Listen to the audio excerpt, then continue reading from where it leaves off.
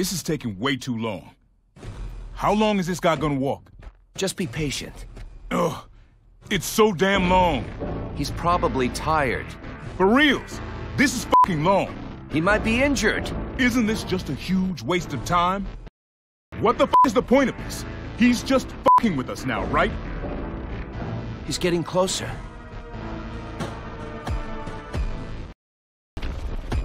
Gene, it's time.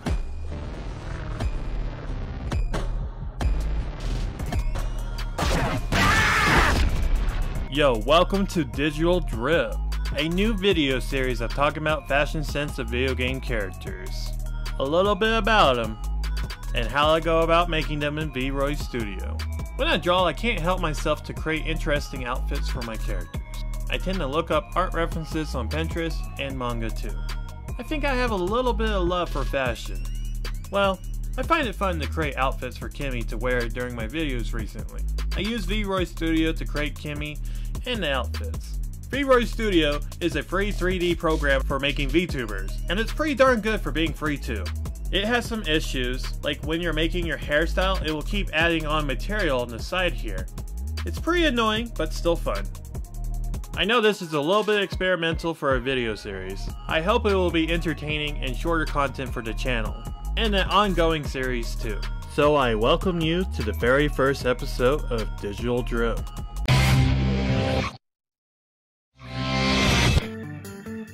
Today's episode, I'm going to talk about the one and only top assassin in the world. Well, universe now. Travis Touchdown! Take it away, Shadow. Travis is a guy who loves everything about anime in his apartment. From cult movies, anime figures, mechs, and pro wrestling.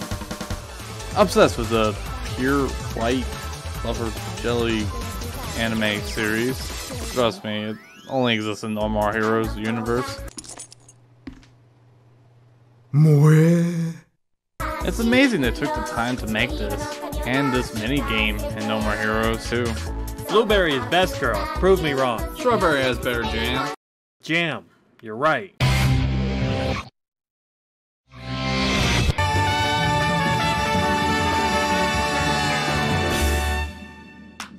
Thank you. Mighty kind. Mighty kind of you. Nice set of pipes you got there, old man. Travis is a bit crude when he fights against his opponents in battle. I think he does it to rattle them and a good fight out of them. He may look like he cares about the win, but he strides for an amazing fight instead. See you on the other side.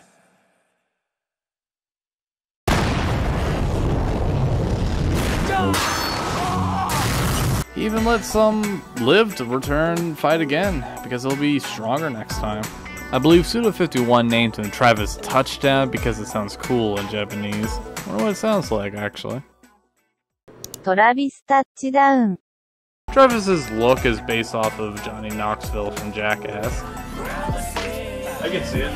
Also, did you know he has a Virgin Mary next to his bed? Maybe he prays for forgiveness when he goes to bed. Does that mean he's Christian? Hey everyone! No More Heroes is now a Christian game. Play this at your nearest church. Sunday, Sunday, Sunday. Woo! Travis is a bit of a but instant karma hits him in the face when he's being a creeper. But also a tragic character because being the top assassin isn't what it's cracked up to be. Killing off all your rivals, enemies, and bosses, it's really lonely at the top of the ranking. No more fights to enjoy.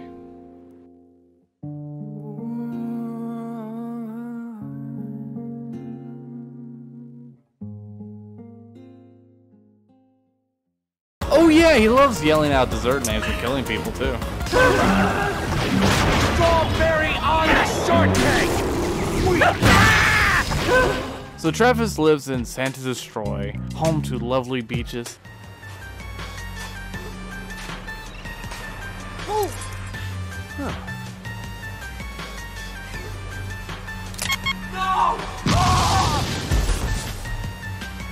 Sunny weather, barren fields with scorpions, and a store of drip called Area 51.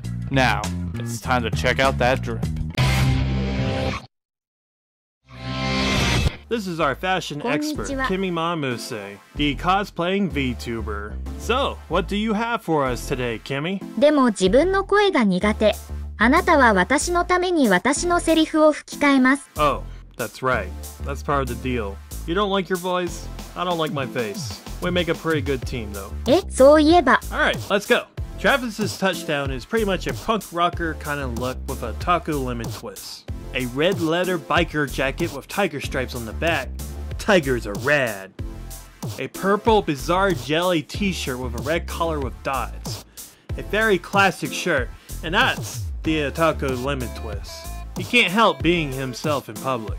Blue jeans with rip and tears on the pant legs, a leather glove to protect himself when using the beam sword, a wristband of the Santa Destroy flag, and of course, the big yellow sunglasses. The aviators. Oh yeah. Well, that actually means we have to make a jacket, shirt, pants, accessories, and the sunglasses. In simple terms. Luckily, we don't have to really worry about making the textures ourselves this time. I found a 3D model with all the textures from No More Heroes Paradise.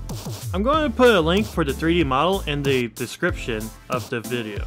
Okay, so we need to make a baseline outfit. It's kind of like doing a sketch before a drawing.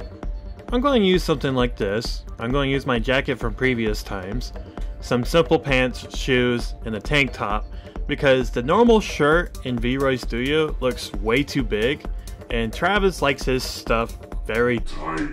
I think the best place to start with this outfit is the pants. I think the pants would be the easiest because it's just two legs. So I exported the texture from Vroid and slapped it on the Photoshop.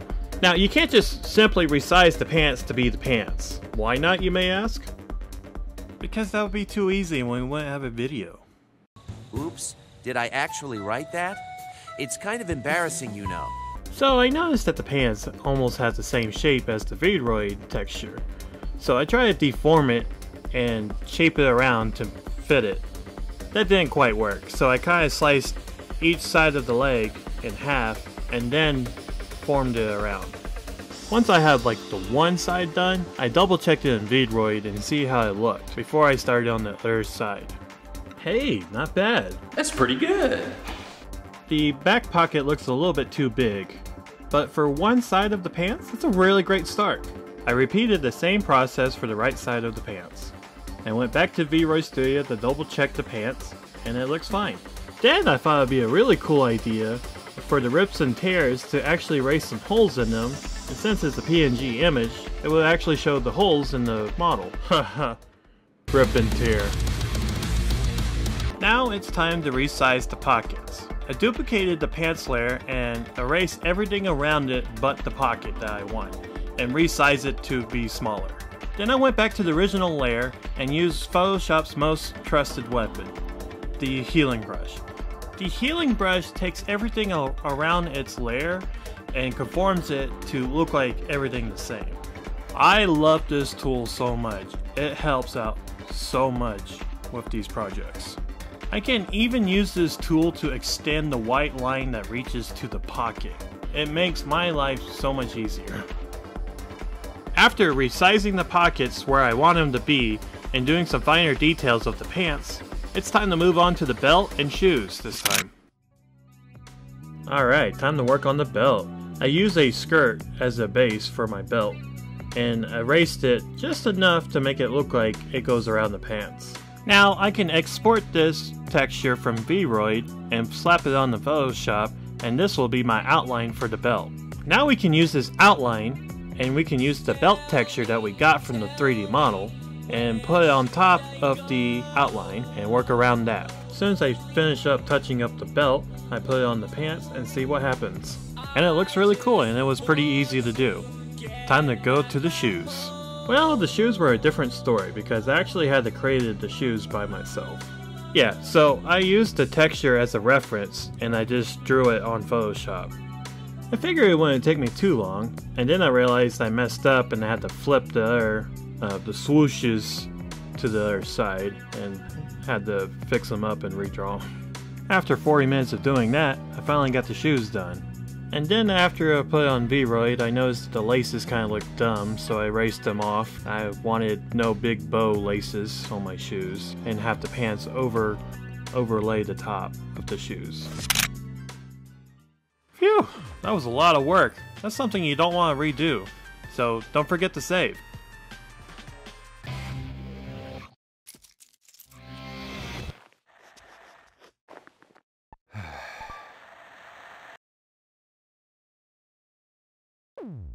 Alrighty, it's time to get back to work.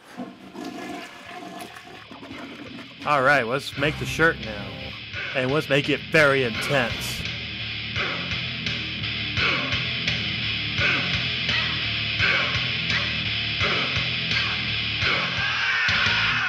Are you ready for the most intense shirt making of all time? Oh, in V-Roid we use a tight shirt to make the shirts. Export the tight shirt bodysuit onto Photoshop. Select the collar, and only the collar, to make the collar with the dots. Now we use the shirt texture. Make sure the picture is just in the right spot. Yeah, that's the spot, baby. Now we can't forget the back collar side of the shirt. Probably the most annoying part of making the shirt, honestly. After that, we must recontextualize all the rest of the shirt. Now, we just copy the layer again and get rid of the logo in front of the shirt and just resize our texture and make sure it looks good on the entire shirt. Now, don't forget the sleeves too, kiddies. Now try out your abomination and make sure it looks good on your V-Roid model.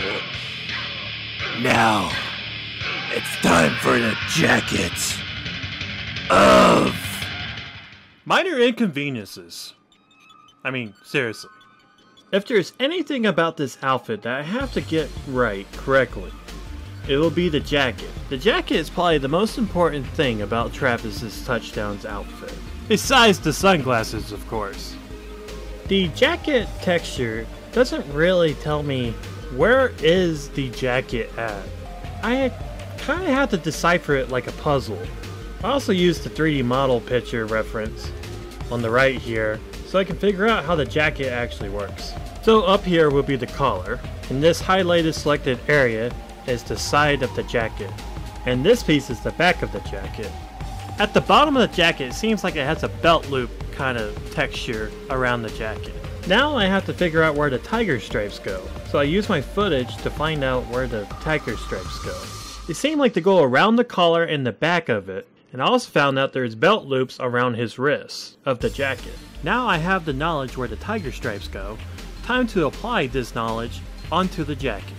So, uh, quick question. Can anyone tell me why Travis Touchdown really likes tigers? I tried looking up on Wiki and the fan wiki and all kinds of research, and I came up with nothing. Um, does anyone know uh, why he likes tigers so much? If you do, leave me a comment. That'd be great. Okay, I think I got all the tiger textures where I want them to be, and the sleeve textures look pretty good too. Okay, cool, I almost have it. The sleeve textures need to be shrinking down a bit, and the belt loops are just way too big on the sleeves. And more tiger stripes is never a bad thing. I also want to add the zipper inside of the jacket, because that's just cool. With that said and done about two hours in, it's time for the moment of truth. Oh, hell yeah! This looks awesome! Alright. This looks great. Alright. All I got left is gloves, bracelets, and sunglasses, and my bows. I think I can do the rest pretty easily from here on.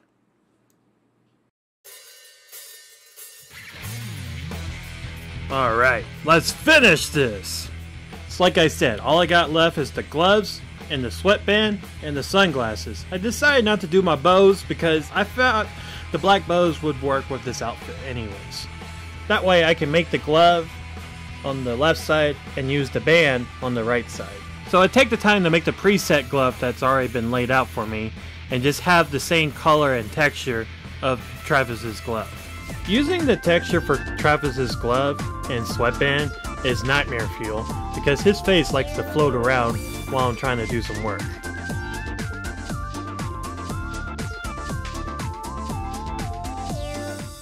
Alright, just about got the glove. I just have to raise a couple of holes for the belt loops for his glove. Bing bada boom, we got belt loops on the glove. We're almost done. Now it's time for the wristband. I used the same strategy as I did before with the belt. Create an outline and then make it around the outline. Now the wristband is done, now it's time to make the sunglasses. Woohoo! VRoid has a very interesting glasses tool maker. I don't get it, but it's useful for this situation. So we're going to use it to make sunglasses. After I find the shape of the sunglasses, now I change the lenses to yellow. Of course, you gotta add some shine to those lenses, that way it'd be extra cool. Okay, I think we're finally done with this. This looks awesome. これが何を求めているか知っていますか Oh yeah. Let's say at the same time. Three, two, one. 写真撮影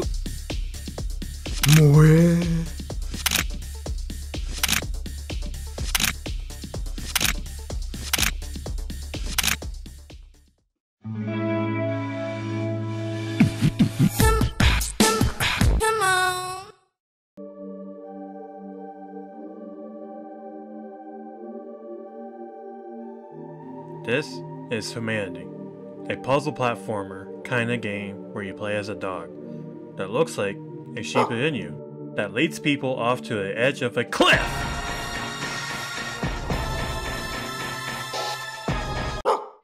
Nah, I'm kidding you. The dog leads them to the light.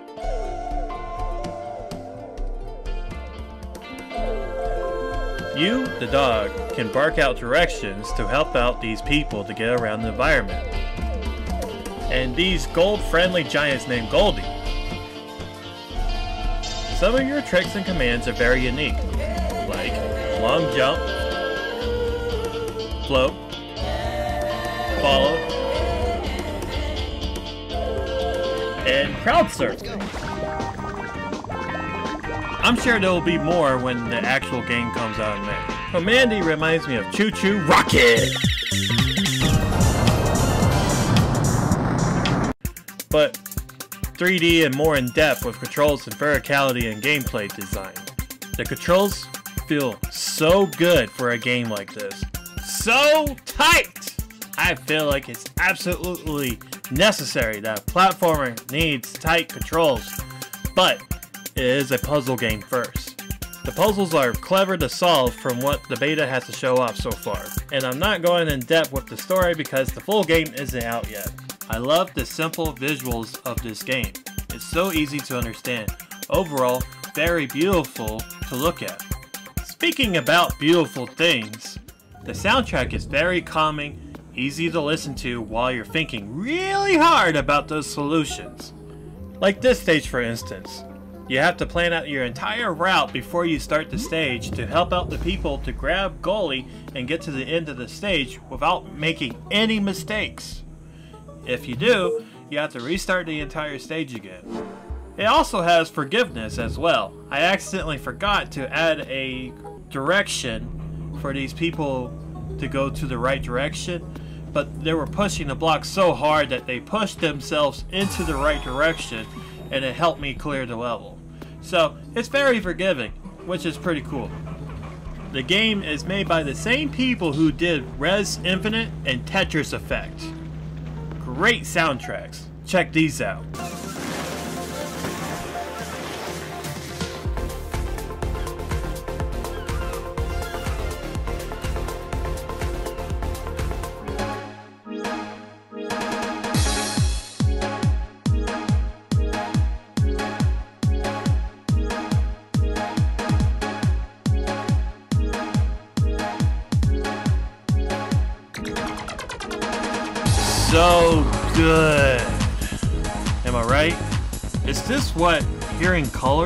Like?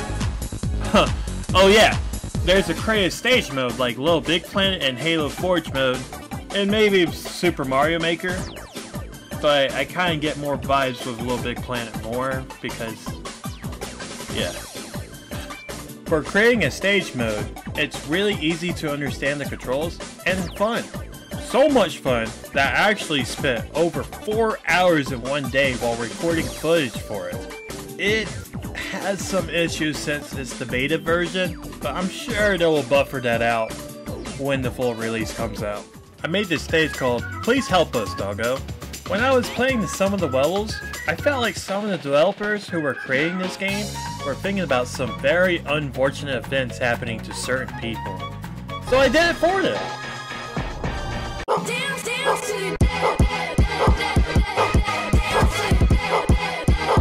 So I used that in mind and made it where you help out people with internal suffering, splatting them into the ground forever until you figure out how to free them by flipping this switch on, stuffing people into this box, throwing them into this box, solving this small puzzle full of people getting rolled on by giant iron balls. With each task that you do in this level, will unlock each step to the goal to complete this level. It will also unlock this wall, creating a hole, and you can lead all the people that you gathered into the boxes and whatnot over here through the tiny hole in the wall and take them outside. And once you take them outside, you can climb up on this wall and lead them to Mr. Goldie around the holes to his goal and lead the people over here to this goal to finally complete my level. Please help us, Doggo.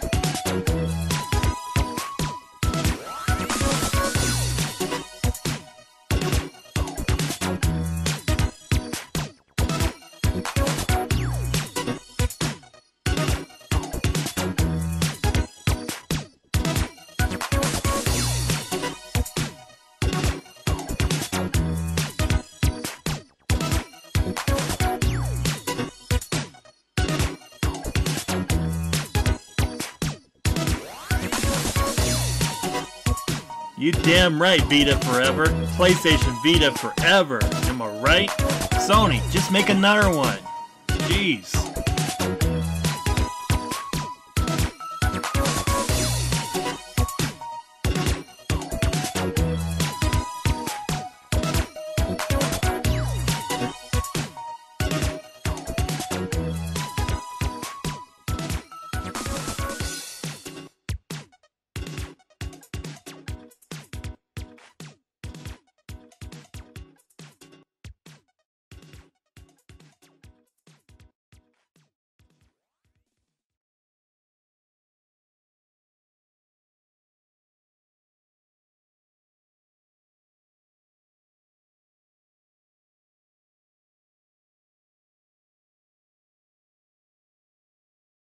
Hey, if you happen to see my level, please help us, doggo. Would you mind rating it 5 stars? I mean, I spent a lot of time on it. I mean, you don't have to, just... It would be nice when the game comes out and get a bunch of stuff for it. and you get a bunch of reward.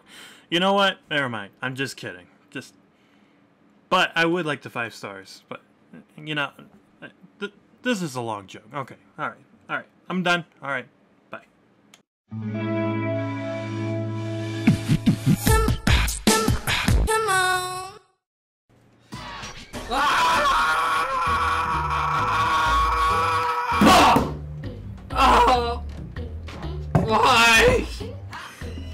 Go face first?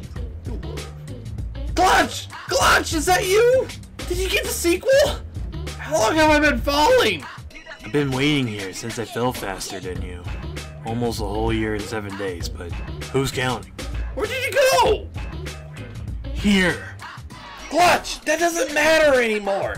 What does matter is that I lost my USB stick. It's not like I threw it out or anything. Right. You know what?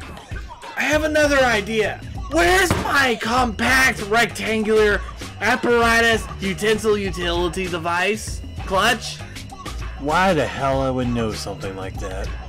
Come on, where is it? I can't find it anywheres. Ah, why? It's not here. It's, it's not, I just can't find it anywheres. I can't. It's just it's just gone. It's impossible. Yeah. Oh shit. Yeah. Gun pay me now. Yo, koi that money over. I'm just I'm just trying to get out of here, okay? Just, just put it down. Just put it down. I don't think so. You owe me some papers. What is that? A Game Boy? What's it to you, Clucky Cluck Clutch? Uh, I don't know. It awfully looked like a Game Boy to me. What? A Game Boy? Yo yo, you should have. You're way better than Clutch. Hey. Yeah, yeah, anything from my brother being on beat. You know, have you seen the new BRC trailer? You wouldn't believe it. There's a guy that looks just like me. No way, beats made by Dre. I'm gonna have to disagree with you right there because I got a certified YouTube comment saying he looked like a yo-yo to me. So, what do you have to say about that, Beto? What do you say there? You think that means anything? Check this out. Huh. Oh, dang, I guess you're right, Egg Beater. So, in light of this evidence, I would like to say that it's actually me beat in Best Road Cyber Hop. Oh yeah, I can't wait to play that Bomb Rush Chicka Chicka Chicka Dog. I can't wait to be in the BRC. Beats really cool. It practically has my name on it. Oh, was it Bomb Crush? Your mama gave me some sacks of money. It's Bomb Rush Cyber Funk!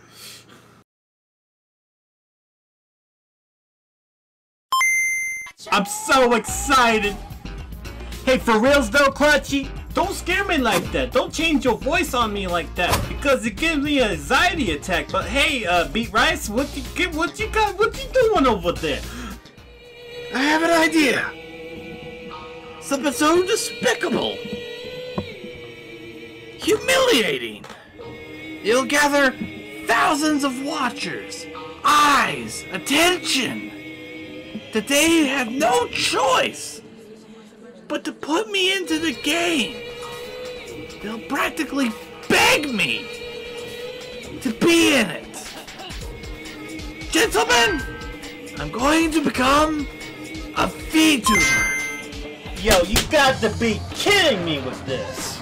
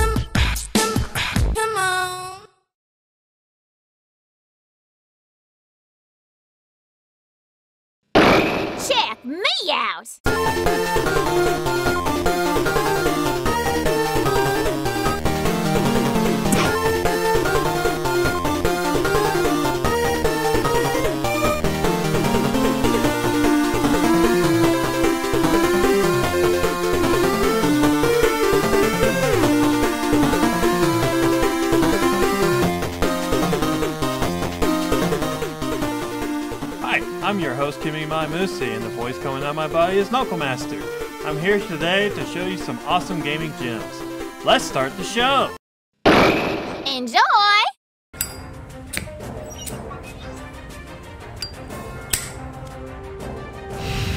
And by the way, don't smoke.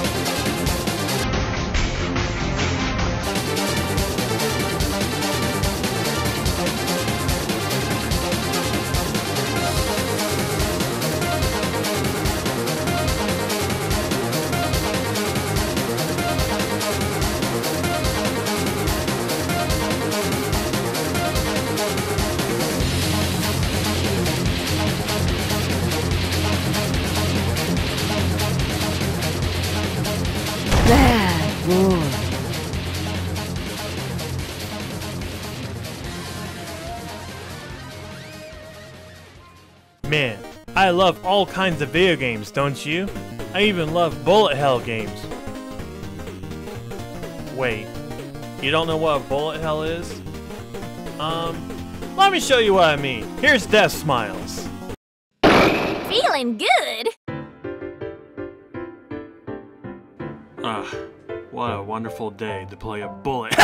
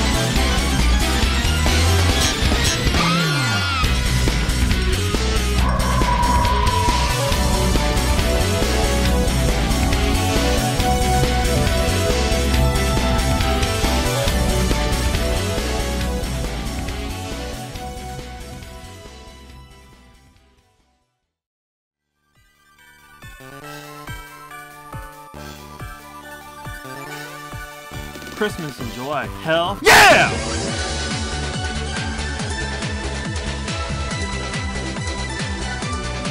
Santa Claus killed our grandpa, no joke. Let's go get him!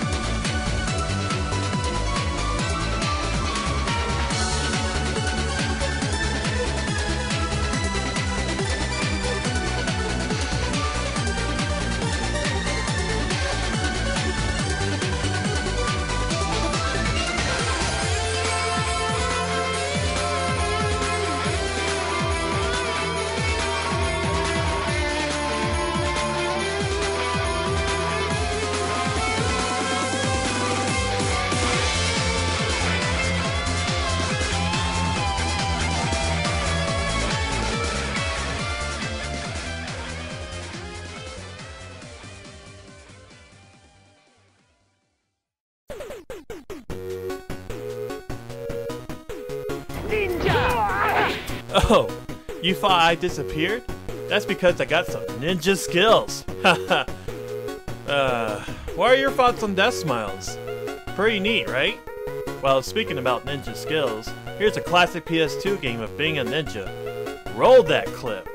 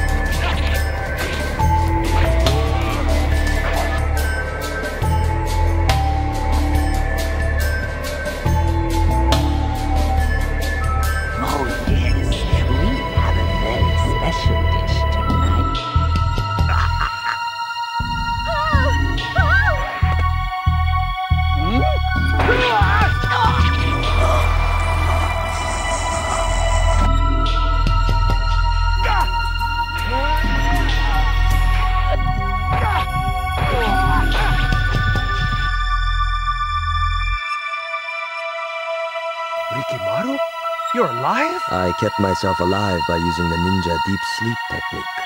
And you show up right when our lord is under attack? While sleeping, I sent my shadow far and wide across the land. Your shadow. Yes, my shadow. And how do we know you're not just a shadow? I am Rikimaru. I am a shadow.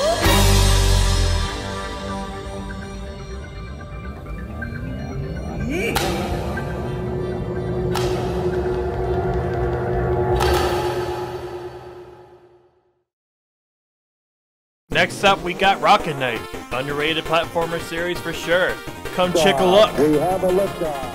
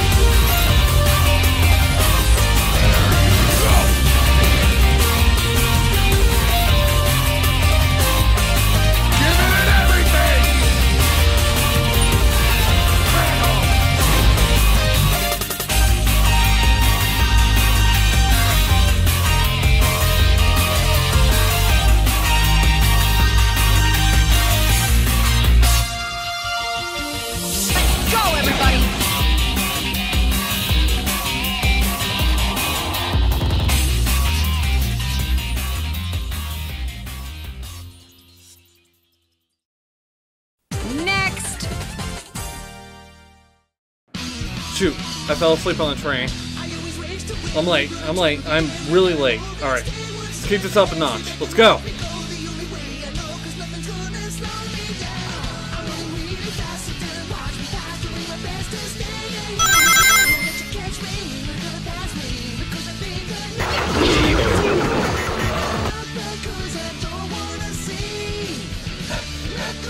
I need to speed up.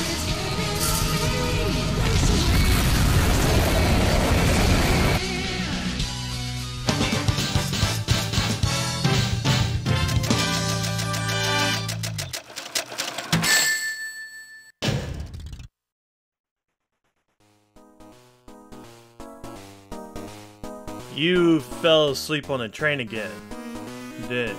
No. Well, okay, yeah. Well, anyways, I got something spoofy for you. You mean spooky, right? Ooh, sparklies. No, no, no, smoothie. Ugh, darn it, you got me doing it now.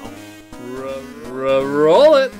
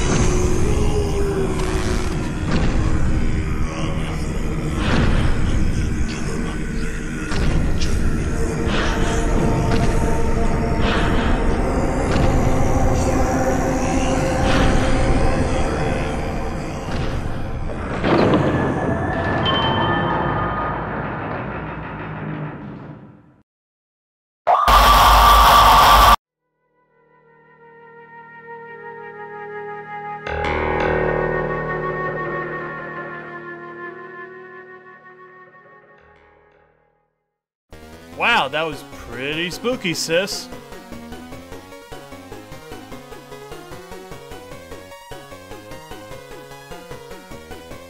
Wait a sec. Where did you go? Take a look up here. How are you doing that? Oh, I've been playing too much grip lately. Check it. Also, can you help me get down? I'm stuck.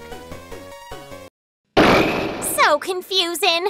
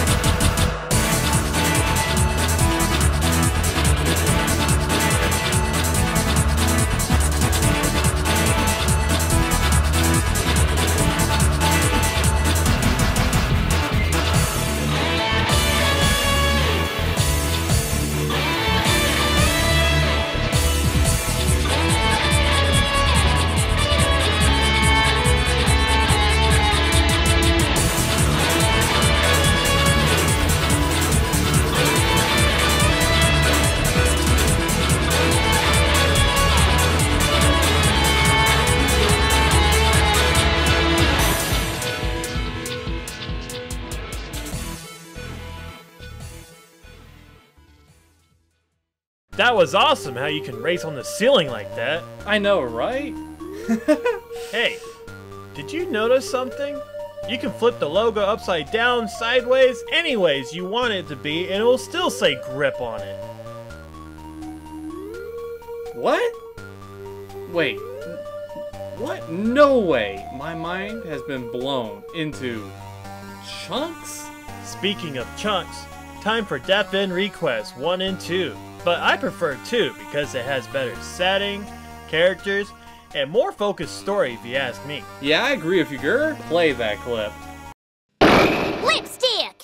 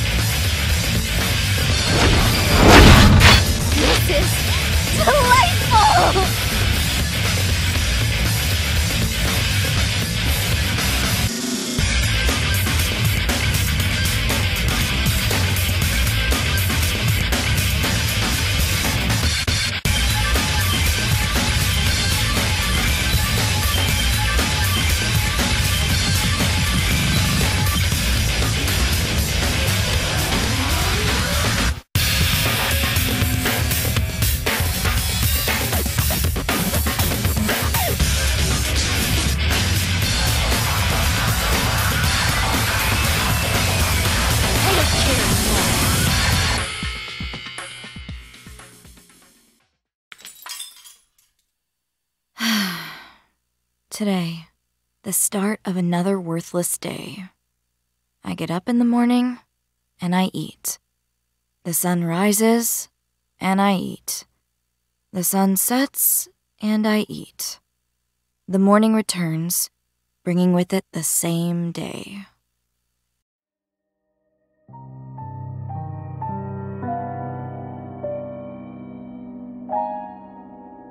I was going to be killed by my father. I don't care. Not anymore. I wouldn't have to suffer anymore, so it's fine. I wouldn't have to stuff anything in my mouth. But I had one parting wish.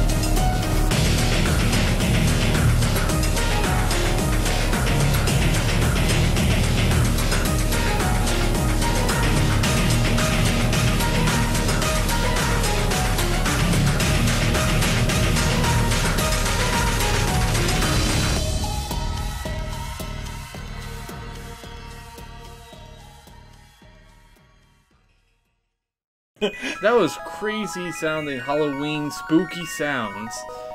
I love it. Yep, but you can't beat this game with the coolness factor. Why? Just you wait and watch. It's gonna be a one hella a surprise.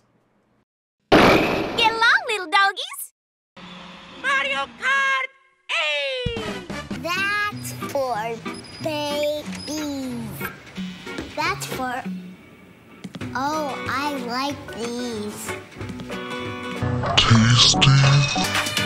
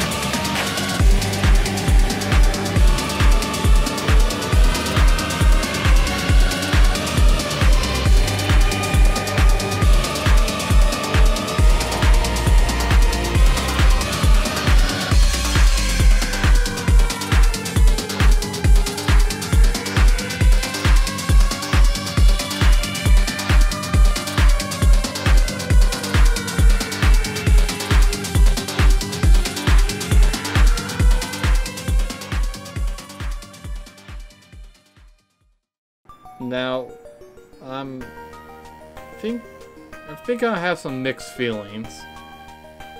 Yeah. What is it? So, if you're being voiceover, am I being voiceover as well? Oh. Yeah. Don't worry about it. You're being voiced by Shadow. I don't know if I like that. He's a nice guy. That doesn't make it any better. I'll just put your strong emotions on the side. I got you, sis. Prepare to cry with Crystar. Let's go. You bullies! I'm going to help her, even if it kills me.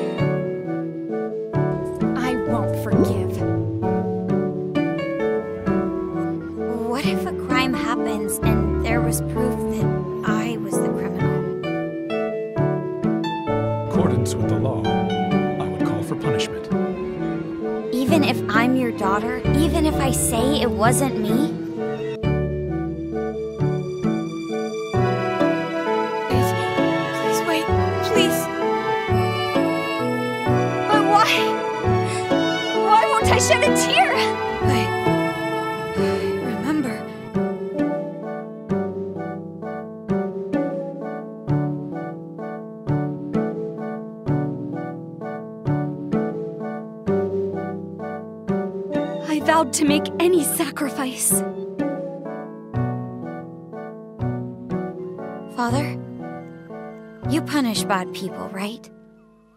Have you ever thought about if you were wrong?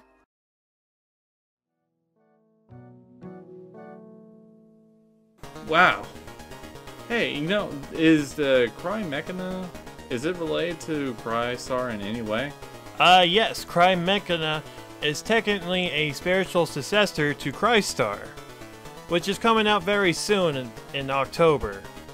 Hey, the music in Crystar is really good too. I really enjoy it. I also like Sparkster. Hey, did you know the Silent Hill composer also did the music for the Sparkster game? Dang, I didn't know that. That's some mad 16-bit music right there. But you wanna know what's half a 16-bit? 8-bit. Tetris!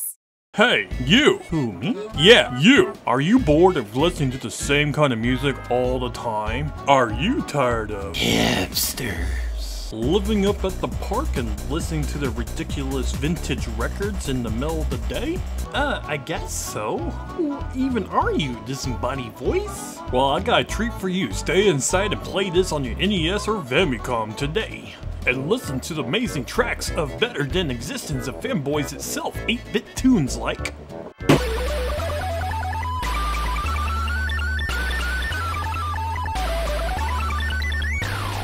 This wonderful chiptune stuff is called 8-Bit Music Power Final. And it's gonna blow your ears right off.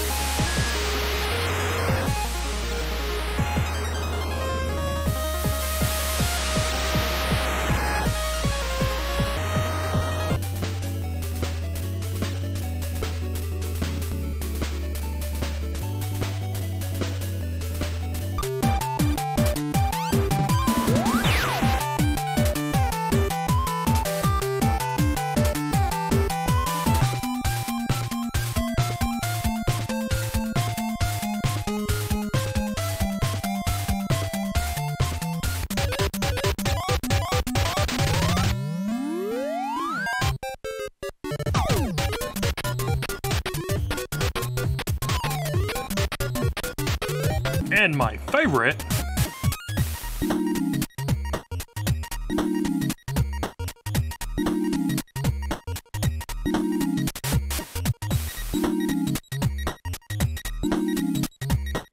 Hmm. That's the power of music, baby. Well, this is all I can show you for today. And also, here's amazing track list of this amazing NES cartridge.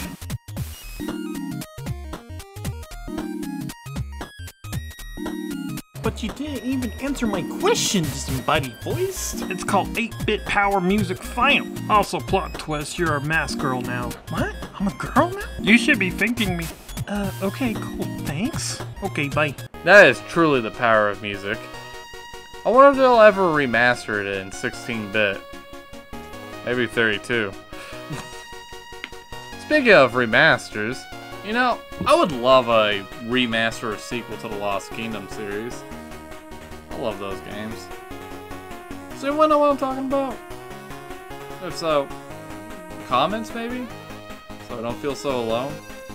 Yeah, you're totally right. I would love for a remaster or a remake of Jack Bros. on Virtual Boy.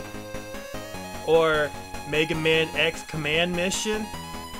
All the other Mega Mans get a chance. Or even Star Force. I would love to see that to happen. Or ready for a real challenge?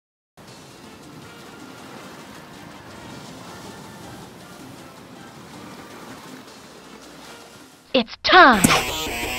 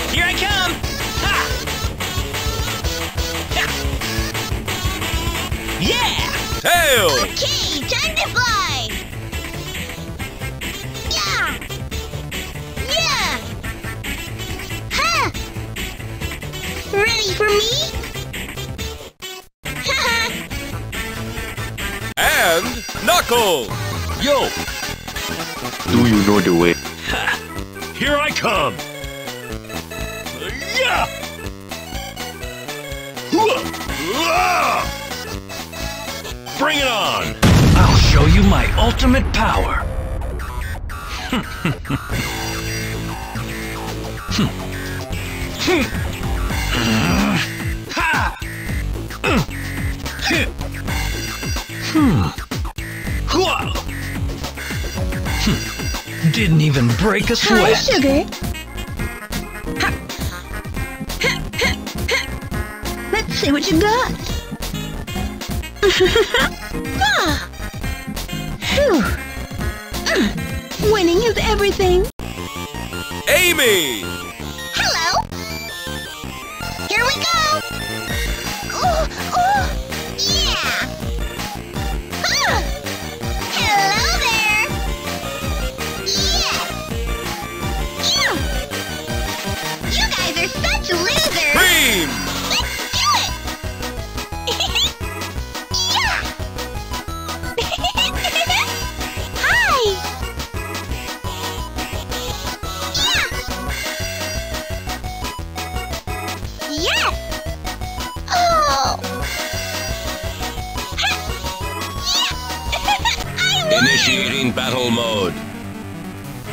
This is the wrong room. Resistance is futile. Give me the bird. Why try to save that which is useless to you? Initiating recovery mode. Beta? Mission completed.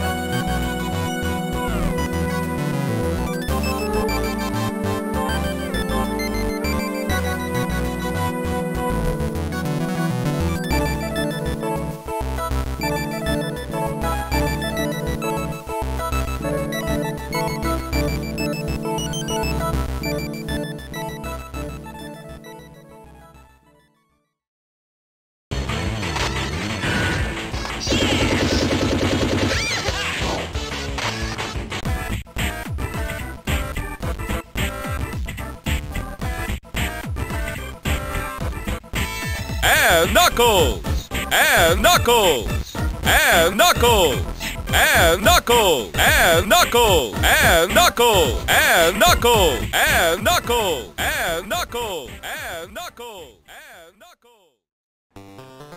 Yeah, isn't that something? I really wish that Sonic Battle and Sonic Advance series were put into a collection like the Mega Man Zero collection. That would be awesome. My favorite character is Ann Knuckles. Like, there's multiple Uh, of them. It's awesome. What's that?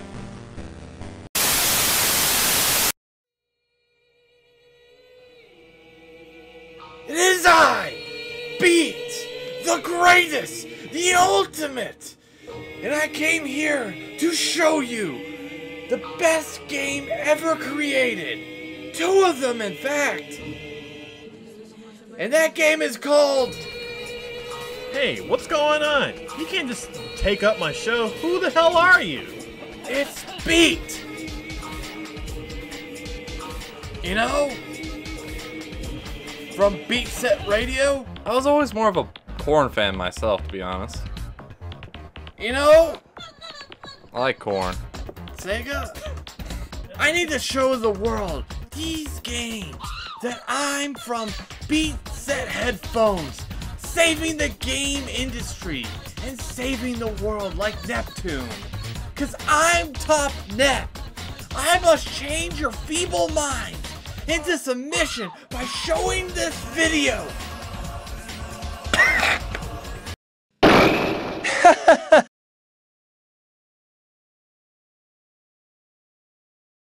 Jet Set Radio!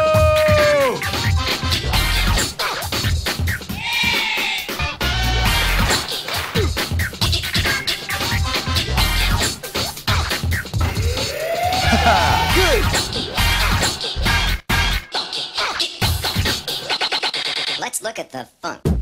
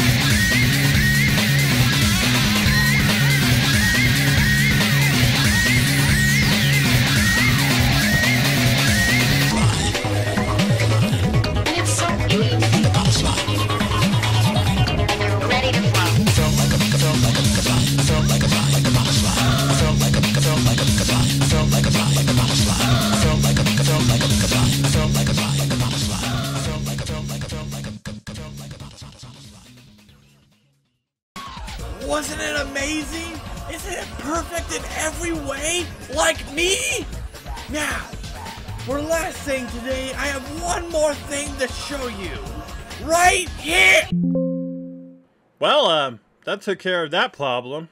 Alright, I got one more video to show you before he comes back. I probably should show it and wrap up this show. You know, he was kind of growing on me a bit. Not as much as corn. But just a little. Yeah, I'm gonna miss him too. I'm sure we'll see him very soon. Hopefully. Alright, it is time to show you the last video of this showcase. This next very game that I'm about to show you is one of my favorite PS3 games of all time. Let's do it! Did you holler for me? The amazing S? Once upon a time, a young girl, Bellwood recedes. A mysterious letter from her lost mother sang to come to find her at a remote island named Duo. What secrets hide out Duo? Only way to find those. Speaking to the dirt.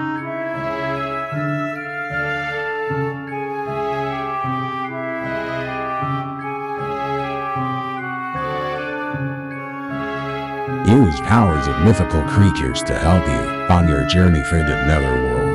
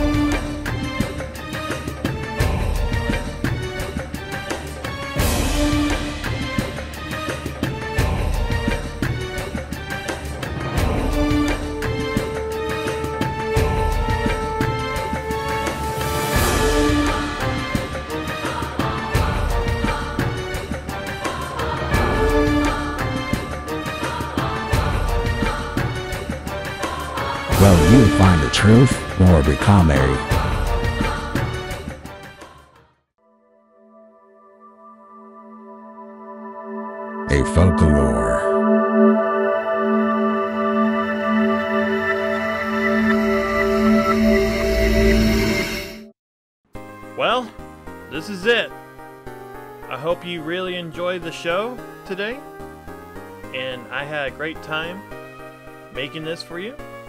And uh, let me know what are your favorite games during the showcase. Type in the comments. But uh, yeah, I hate to go, but we'll see you next time. And when we leave, we're gonna play a little montage to show everything that you just saw. Alright, we'll see you next time. I am Kimmi Masamune, and this is my co-host, Sorei Masamune. Have a good day. See ya. Bye. You ain't no match for this cute face.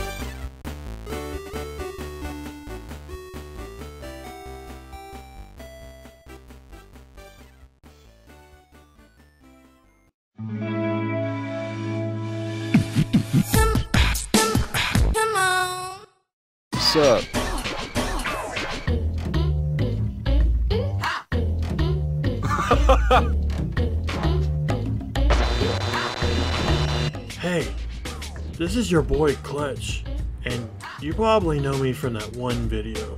I'm gonna make a rail so big, it's gonna get us out of the. You know what, B? Why did your voice change? I'm done! What? What do you mean you're done? See you later, bitches. Where are you going? I was falling for a very long time. I had a lot of time to think about things. A very long, dark gray, long void of nothing happening. And then I also found, strangely, quite frankly, something else was falling too. The computer. And it was awesome. I got to learn how to use it without my hands. And I also stumbled a thing called anime. I guess you can say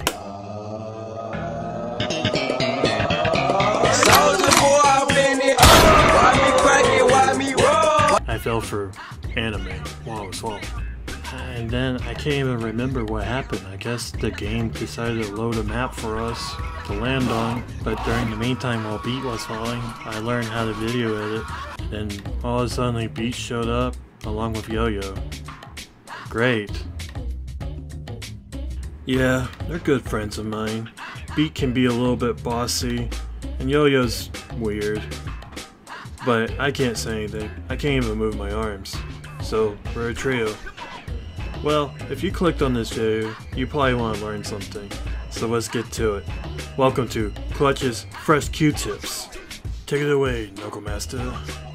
Hey everybody! I had some people on Reddit and YouTube and everywhere on the internet asking me how I did this effect.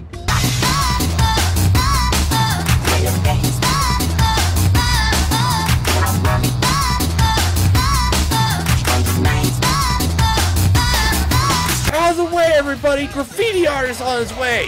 Move it! It's alright. He only looks scary. Would you just... Our heroes hunt down the monster and they send the little girl off. What a monster! So, I'm going to show you how to do it. Okay, here's a list of things I use personally.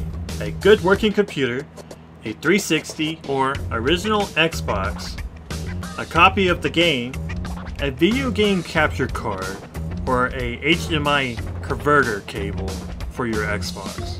And as for software, I use Adobe Premiere and Streamlabs. Now, you don't have to follow everything that I do. You can use other programs or hardware to do these things. But that's the basics of what you need. Alright, let's get to work, shall we? This is my white 360 that I like to use while recording. I don't like to use my better quality consoles, especially for recording. So, I use them all the time.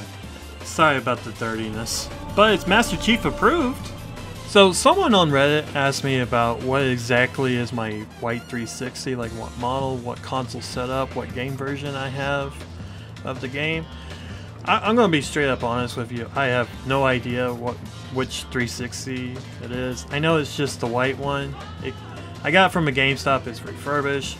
I can so, show you the serial number. Um, I would like to believe it's one of the way older ones, uh, but I have no idea about 360 model lore. So send me down a comment um, telling me what it is. Same thing with the game copy. I'll try to find the serial number, something for it. But I just know it's the copy of the game that comes bundled with the original Xbox. So I hope that helps you. If it doesn't, I'm really sorry. I'm trying, but I'm just learning. But this is my white 360. It's very finicky. Alrighty then, let's pop this baby into the 360. Uh-oh. Why my 360's not opening? Oh, right. Sometimes it likes to get jammed. So sometimes you have to knock at the door, ask politely to open up. You know, like a Girl Scout asking people to buy your cookies. You know what I mean? Or sometimes you just have to hit it a little bit hard. Just, just, just a bit. Not too hard, you know? Just a nice slap on top of the head. Or a light rhythmic like pattern on top of the Xbox. You know, just anything to get that disc tray to open, right? maybe if I just turn it off, it'll do its thing when I try to hit the inject button, right? Maybe it will just open back up. Alright, that didn't work. Okay, just a couple more taps. Maybe it will work. Oh! We got it. We finally got it. Alright. Just put the disc in. Okay. Hopefully, it will close. It's not closing. Why is it not closing? It should just close. Okay, okay. Maybe, maybe just a light push. Alright. Maybe a very gentle push should do it. Very gently. Nope. Okay. Alright. Come on. Maybe I'll just turn it off and then just poke it back in. Oh, you gotta be kidding me. You gotta be kidding me, right? Alright. I'll just shut it back in and then turn it on and see if it worked. No! Of course not. You know what? I'll just close it back in. Ah! There we go. Finally. We're good now. We're good. Right? Three, two, one. Yeah, we're good. We're good. Alright. Let's get to work. Okay. Time to set up the XR1 Pro capture card. This is my capture card. And on the right side is where you want your game to be plugged in, and the left side is where you want your TV to be plugged in. And the Type-C cable plugs into the computer. Make sure you do all your updates necessary with the firmware and all that stuff. Alright. Okay, so you might run into a thing called HDCP. All you have to know is it's super annoying and it stands for High Bandwidth Digital Content Protection. It's on your 360 and PS3 by default and you need an HDMI splitter to get around this. I'll put a description along with the other devices of this video. Okay, once you get that done with, open up Streamlabs or OBS and go to your sources and open up video capture device and put and find your XR1 Pro or whatever capture card you're using and make sure it fits on the screen perfectly and you can see it on your screen. You might have to click on the settings and make sure it's clicked on there to find your capture card. And then once you have that ready, you click on this red button called record and you start recording your game footage. So yeah, once you're in the actual game, go to custom graffiti mode and spray down all your different sizes in a bright super green or blue. I'll show you what I mean later. Just go ahead and do it. If you're doing this on your Xbox 360, you might see some visual glitches while you're graffitiing. That's just normal for me. It might be different for you, but that's how it is for me on my 360. It doesn't do it on my Xbox, only on the 360. It's a weird visual glitch. Once you got that done, make sure you equip your custom graffitis and go out in town and record your footage. Wherever you want. Um, you know, maybe middle of the streets, or looking at some pedestrians walking across this blue screen. Do some really fun, interesting stuff, whatever you want to do with it. Okay, on to the video editing process. As long as it has a keying out feature, you can use any video editing software. I'm using Adobe Premiere. Okay, a quick rundown of how all this works. Um, this right here are my video layers, and then underneath it are my audio layers. The things on the left are all my files that I'm dragging and clicking onto. And then on top of that, that's where I control the effects. And then to my right are where I find the effects. I hope that makes sense.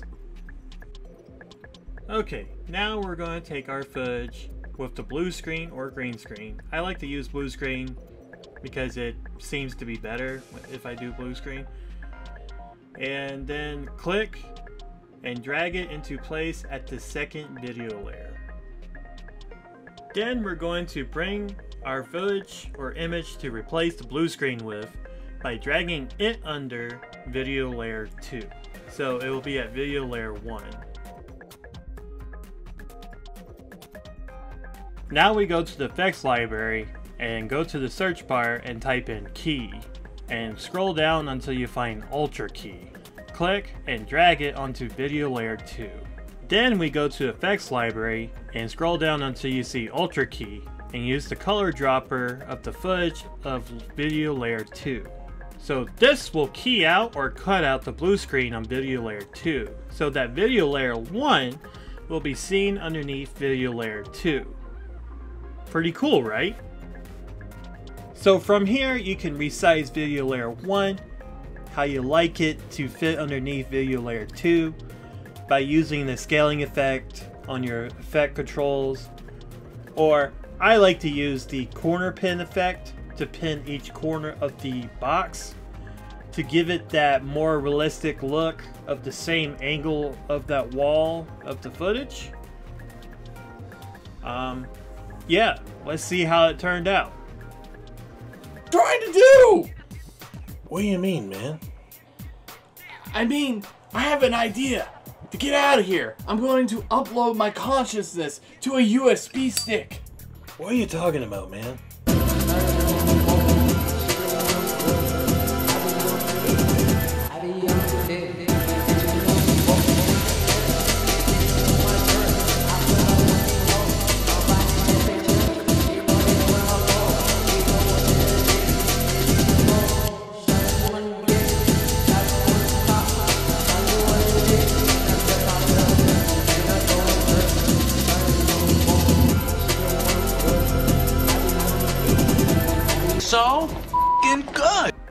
Pretty neat, right? I certainly hope so. But you're probably wondering, why do I do it like this? So, in the game itself, there's really good lighting. And for example, like this area, where I want it to appear look like the video itself on the wall still has those shadows from those buildings. And it creates a really cool effect and keeps you somewhat immersed in that world. It's like a video playing on the wall. It's pretty cool. I really like how this looks. Okay, here's another example. This one's at night. Um, you, you don't have to worry about shadows at night, but also, if you're using a blue screen at night, well, if you use Ultra Key, it makes everything turn to a greenish color. Like it takes, it literally takes all the blue out. So you might have to worry about that if you're doing something at night in the game. You know, that's kind of weird to say. I mean, there's night stages and day stages. It's not the game itself that literally has a time of day. You get what I'm saying, right?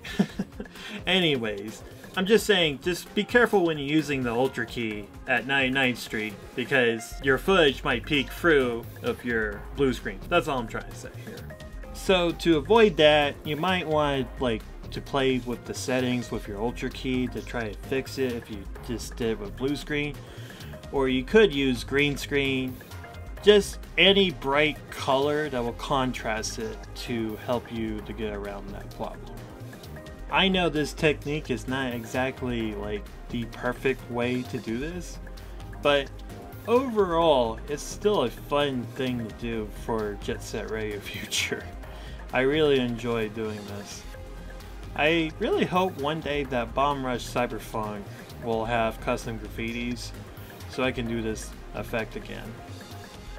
And yeah, that's about it. This is how I make those video graffitis for Jet Set Radio Future from time to time.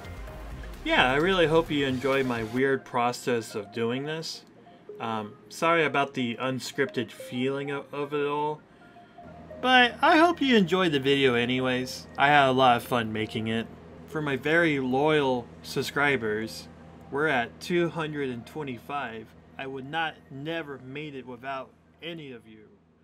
So thank you so much for subscribing and watching my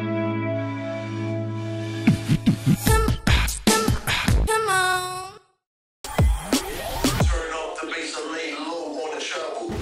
Ooh, that was clutch. Hey, come back here, baby chair lazy boy. Eat bubble. Man, this is so easy. I'm gonna turn around now and not even look. Oh, hey, I didn't notice you were watching me play this game called Armored Core.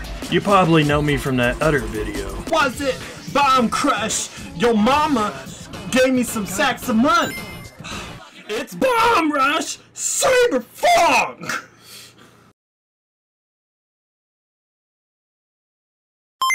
Well, since you're here right now, the new BRC crew wants me to edit their skate video for them. I told them I'll do it, if they get the footage and send it to me since, you know. We're still stuck in here! Oh well, that's okay for now. Knuckmaster is here to teach you how to do video graffiti in Bomb Rush Cyberfunk. Take it away, my man. Hey everyone, Knucklemaster here. So I post this image here on Reddit and Twitter. I mean X now, whatever, right? Multiple people asked me how I made this, since the last video did surprisingly well to the point where I was even questioning it. And then someone from Reddit also subscribed to me on my channel for this video as well, and told me to try some panoramic shots too. So I felt like I had to do another video. I also replied to them saying, I am the Knuckle Master. That doesn't mean anything to them. Come on, really? Why did I type that? No pressure, right? I can do this, right? Anyways, so I'm going to show you how to mod your own custom graffiti and make video graffiti in Bomb Rush Cyberfunk on the PC. Are you ready for this? Here we go! This time we need a good working computer, of course. A copy of Bomb Rush Cyberfunk on PC, OBS or Streamlabs to record your footage, and any image and video editing software that you like to use yourself. I'm going to use Adobe Premiere and Photoshop. I'm sad to say this, but as far as I know, you can only mod on the PC release of BRC. Maybe later down in the line, modders will figure out how to do it on consoles, like the Fallout games. There's one more thing we need for this. We need this program called Ubay.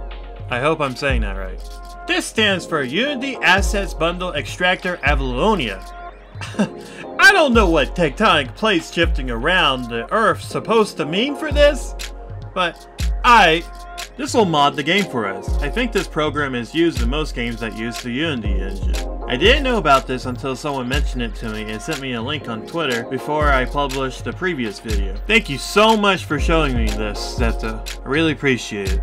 I'll put down the links that I use for Ubay and the how-to guide in the description of this video. I'm on the 6th edition of Ubay, so if you're watching this later, I would recommend downloading the latest version. I'm on Windows, so I'm downloading the Windows version. It will come in the zip folder and you might need a program that unzips the folder for you. You can use something like WinRAR for this. Now we extract all the files into a new folder. I'm going to put it into the downloads tab so I can find it easier. Now it's time to set up our custom graffiti for BRC. Let's do it. Go to the folder where your program is at and select ubay.exe. A small window will open, then go to File, Open, go to where your Steam games are located. Mine are in my hard drive. Go to the Steam Library folder, then Steam Apps, then Common, then Bomb Rush Cyberfunk, then Bomb Rush Cyberfunk underscore data, then Streaming Assets, then Assets, and finally scroll down until you see Graffiti. Open it up. If you happen to not know where your Steam games are located, then you can use the search bar and type in BOMB. That should pull it up. Or you can also use Steam to help you find the path too, by going to Settings, then Properties, then Install Files, and hit Browse. This will open up where the game is located. After you go through the file path system and select Graffiti, click on Info. This will open up a bigger window called Assets Info. This will show all textures, shaders, and material of all graffiti in the game. Since we're just changing only the image files around, let's go to View and filter it where it only shows the image files. By clicking off the check marks except for Texture 2D, then close the window. Now, it only shows the PNG files. Okay, so there's four different sizes, extra large, large, medium, and small. But smalls are unique to each character. I'm not gonna lie, but I don't like the rival gains graffiti in the game, so I'm gonna replace those and they're really easy to find here. They have them separated by rival game names and for each size too. The next step is now picking the graffiti that you want to replace. Let me show you an example here. Go to this file here and go to plugins. The plugins window will show up and you can choose between export texture or edit texture. Exporting the texture can be saved into your computer and you can see what it looks like before you replace it. Editing the texture will replace the texture. I like to export the texture onto the computer first so I know what I'm replacing in the game. Then I go to my newly exported image and right click, then I go to open with, then Photoshop or your weapon of choice for image editing. If you do it this way, you don't have to worry about your resolution size for each one. Edit your graffiti texture however you like. I'm going to make green screens and blue screens with mine to make video graffiti, just like the previous video. After you get all your new custom graffiti ready to go in your folder, then we go to edit texture in the plugin window. Then OK, then go to load, pick your custom graffiti of the right size. Now we click save and then go to file in the big window, click save, then it will pop up a window saying you need to close the big window first for it to truly save and replace. So click OK, then close the big window, then go to the smaller window, then go to File and click Save To. Now close it. I hope I explained that pretty well. If you did this incorrectly by closing the smaller window first, it won't work. So put it in this way. Close the big window, then the very small window. So big, then small. Alright, let's go test it out first and see if it worked or not. Cool! It seems to be working. So I'm going to take the time to replace what I need to replace here. Then go around in the game and spray down the entire city with green screens and blue screens. Let's put in the work now. It's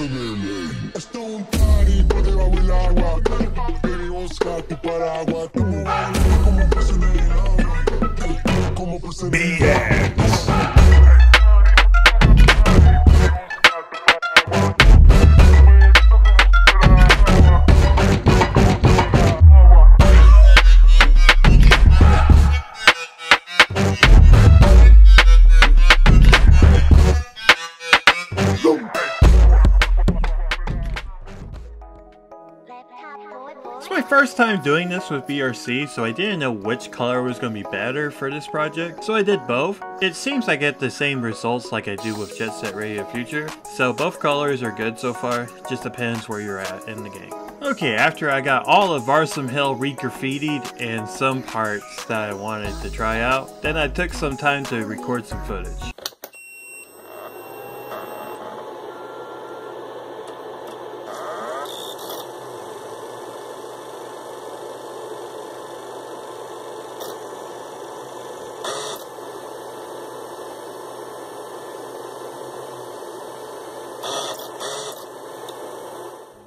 Time to edit the footage I just got. So last time I talked about Ultra Key to make those video graffiti and Jet Set Radio Future. Pretty much we're going to do the same thing here. Okay, let's review how to do Ultra Key real quick. Take the footage with the green screen and put it onto video layer 2. Then, take what you want to replace with your green screen onto video layer 1. Go to the search bar on the right and type in key to find the Ultra Key effect. Drag down the effect onto video layer 2 and go to the left side for the effect controls and scroll down until you see Ultra Key. Then use the color dropper on the color green. After that make sure video layer 1 fits underneath video layer 2 by scaling or using the corner pin effect. Thinking about corner pin effect, this person from Reddit said to try to do some more panoramic shots this time around by using corner pin effect. So let's go more in depth with it. To do this effect, go to the effects on the right side, use the search bar and type in pin. To find the corner pin effect, drag it into video layer 1. Go to the left side into the effect controls and scroll down until you see corner pin effect. Then four round blue light crosshairs will show up on each corner of said video, image, or GIF. Adjust them to your liking in the video, and video layer 2 might be moving around for video layer 1, so that means it will have to keep up. To fix this, we need to fix the positioning when video layer 2 moves around. So in the effects controls, we need to go position, scale, and corner pin and click on the stopwatch icons. This will create a keyframe. Then go further into the timeline to readjust the position, scale, and corner pins. Keep on adding more keyframes in the timeline until it looks correct. I'm not gonna lie, but this took me a good 30 minutes and it's really such a pain in the butt to do here because Premiere doesn't like it when I do this, making this very hard for me to see what's going on. At the last couple of seconds in this part where the kitty girl says hi to Red, hello, I made it scale up where he goes around the corner because I kept getting error messages popping up. Maybe the computer thought it was too epic or really bad. I don't know. Well, anyways, let's see how all this hard work turned out. I hope it turns out really good. Oh yeah, if you happen to see a lot of footage of Belle from BRC, that's probably because Clutch has a huge crush on Belle, so sorry about that. Hey, no fair.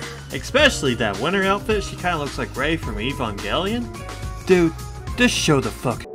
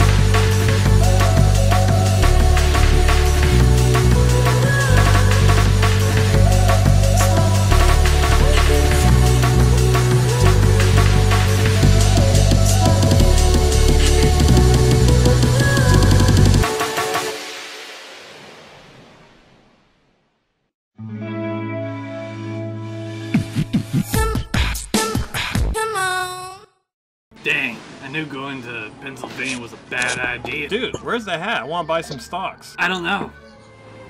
Gone. Yeah, I really want to invest on 2D women. You know, to help to build them up. Wait a second, you don't mean you actually lost the hat, did you? Oh man. I did not lose the bucket. It was stolen. By who? By that hamster cheek pinching coffin dodger. Who? So you want a jumping flash? No, no one's playing Jumping Flash. Everyone's playing Armored Core. Dark Souls Edition. Oh, okay. I'll see you next time. Nah.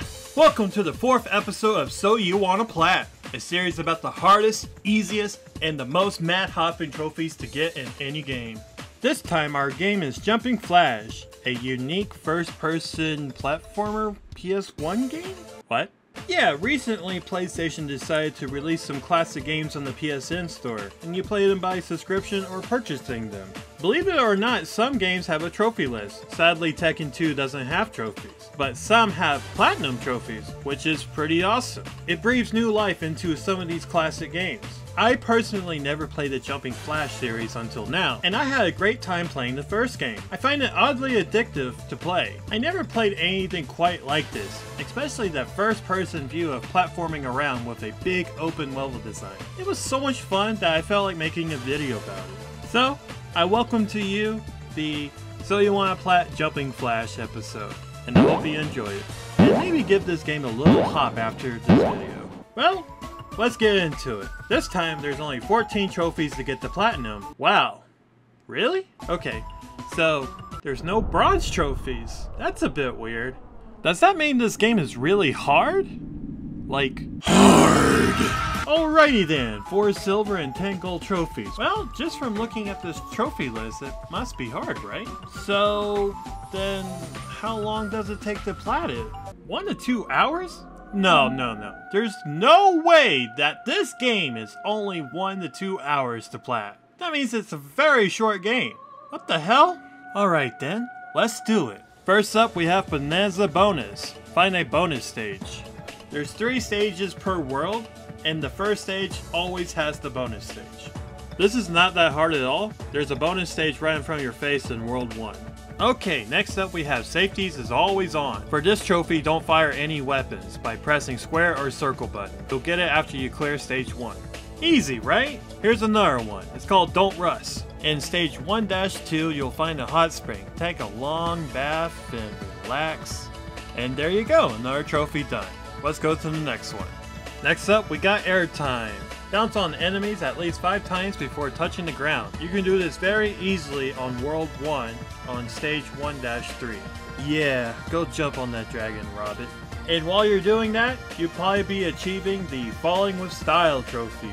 Be in the air for 6 seconds or more. Easily can be done with the dragon as well.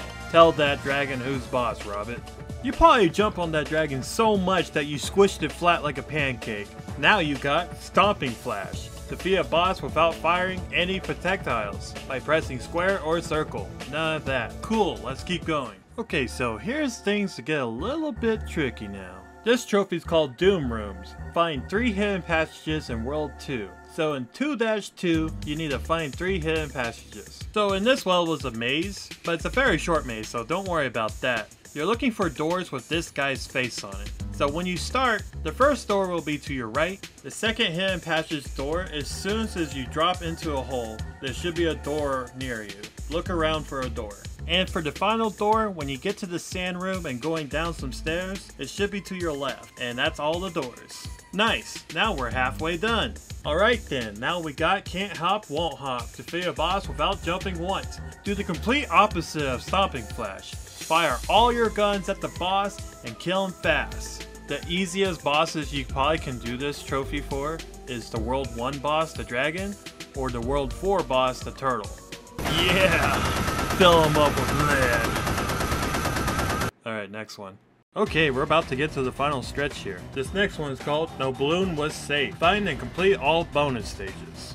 There are six worlds, so that means there's six bonus stages to go with it. All bonus stages are on the first stage of every world. So we need to find and complete every bonus stage to get this trophy. To complete a bonus stage, you need to pop all the balloons in the bonus stage. Don't worry if you mess up, you can use the rewind feature. Okay, let's do it. I think the first bonus stage is near a blimp, or right in front of your face in the beginning on top of the hill. Okay, the second bonus stage is near the big pyramid, and you should see a column. Jump on the column, you should see the bonus ring and jump in.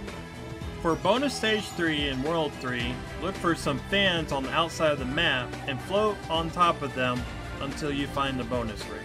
For bonus stage 4, find the exit pad, look around, you should see the bonus ring from there and jump inside.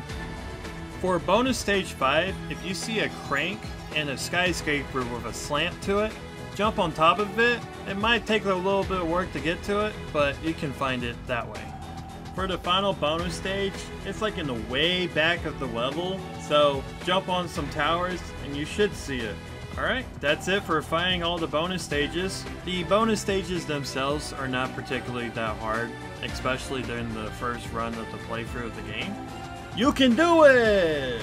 While you're doing the bonus stages, you're probably going to end up with this trophy called More Cat Than Rabbit.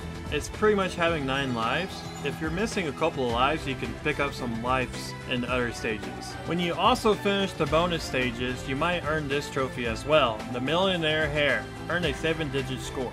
Three more trophies to go. Let's do it. This one's called I'll Face Myself. Bounce on Dark Robot's bunny companions 15 times. So during this boss fight, you jump on his minions 15 times. Pretty easy. Okay, the next one's called Bounce on the Baron. Defeat the Baron without firing any special weapons. So, don't press that circle button during the final boss fight. The final trophy to get the plat is called Aloha Aloha. Acquire all jet pods and defeat the Baron. No cheating, just means beat the game.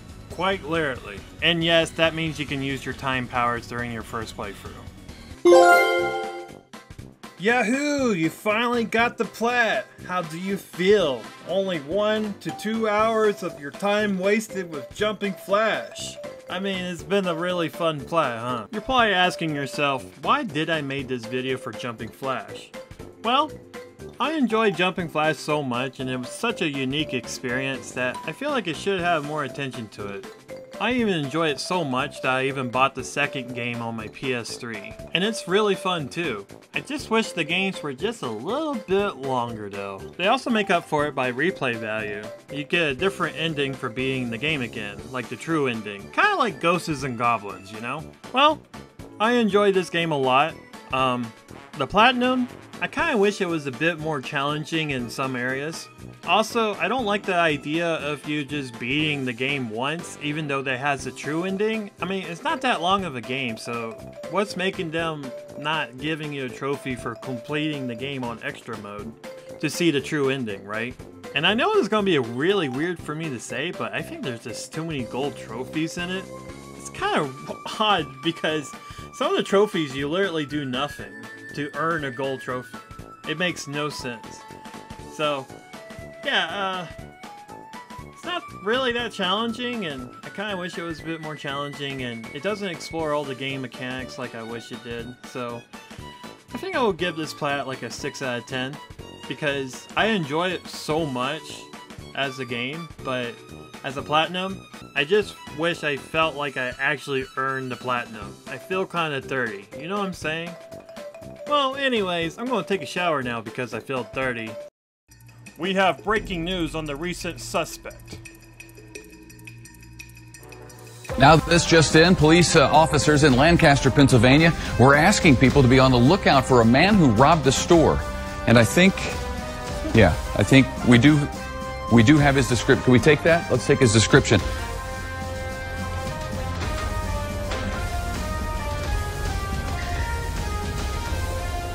Okay, this is the guy they're, uh, they, want, they wanted people in Pennsylvania to be out on the lookout for. He's got, uh, he's got a nose and some hair that goes like that, and he was, uh, he was wearing a hat at the time of this particular, particular crime. He's got kind of a chin that comes down to a, almost a point.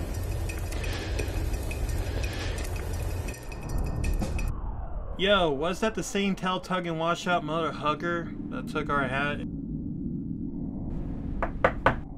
A knock at the door. He's back! He's back for my shades! Gotcha now! Looks like I'm stuck on 2D women again.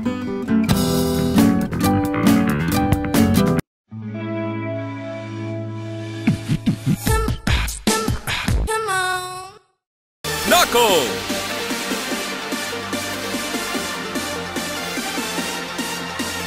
Let's go!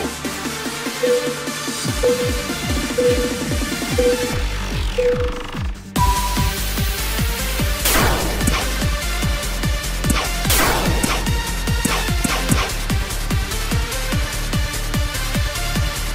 right!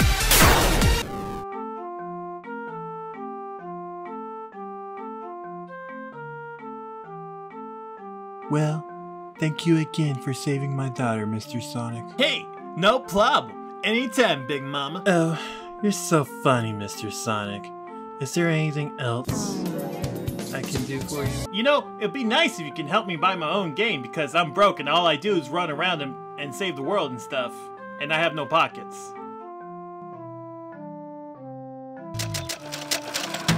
Here you go, ma'am. Alright, thanks, Miss Big V. I can't wait to play with myself. Hashtag not sponsored. See you next time.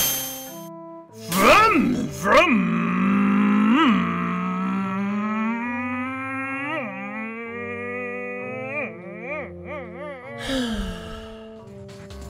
Knuckles. What you... That was for last time, Porcupine. Ah, just what I needed. I need you to help me to make my son. Oh my, so straightforward. Come with me. There's no time. This is Knuckle Master, and I'm back. I've been away for a week, but I'm back to kick some butt with this new vid. I shall find all the lost pieces of Knuckles' son to help him to build his bloodline back together. You want to play with blocks? Well, you got the right guy. Oh, good! We made it just in time! Just in time for what? This Knuckle Master guy said he can help me build my son! Oh, that's not what I had in mind. I thought I was gonna be like Stacy's mom.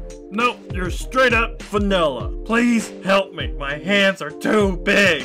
What a weird problem to have. Okay, I'll help you then, Knuckles. Oh, thank you so much. Come with me. He's about to build the bricks.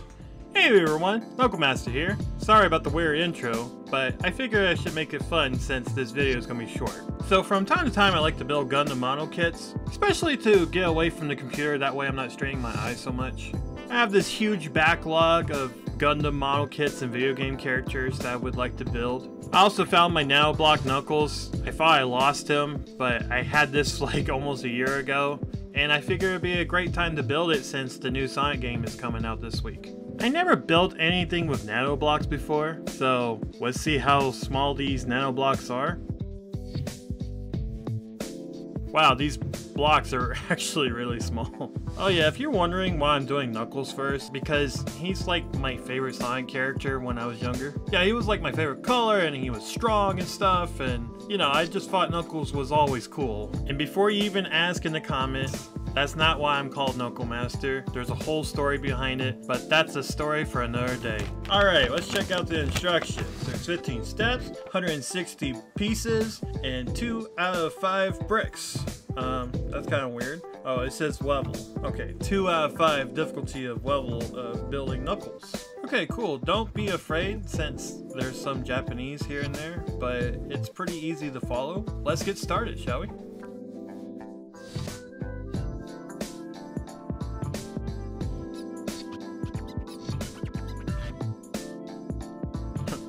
Showed. Look at this tiny, tiny, small piece in the palm of my hand. This is really small. Very small. I got big hands. I don't know if I can actually build this myself. Well, I'm going to give it a shot. Since it's October, time to play some spooky music to go with this.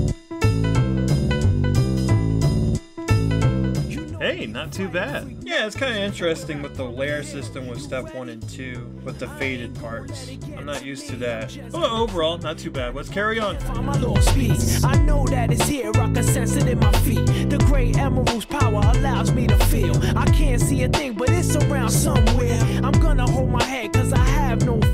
Does this look like Knuckles to you yet? We're getting there. Also, I think I messed up on the back of the head. It, it's an oval shape instead of a rectangle shape, and it's locked in there pretty tight, so I'm going to try to use a knife to pry it off.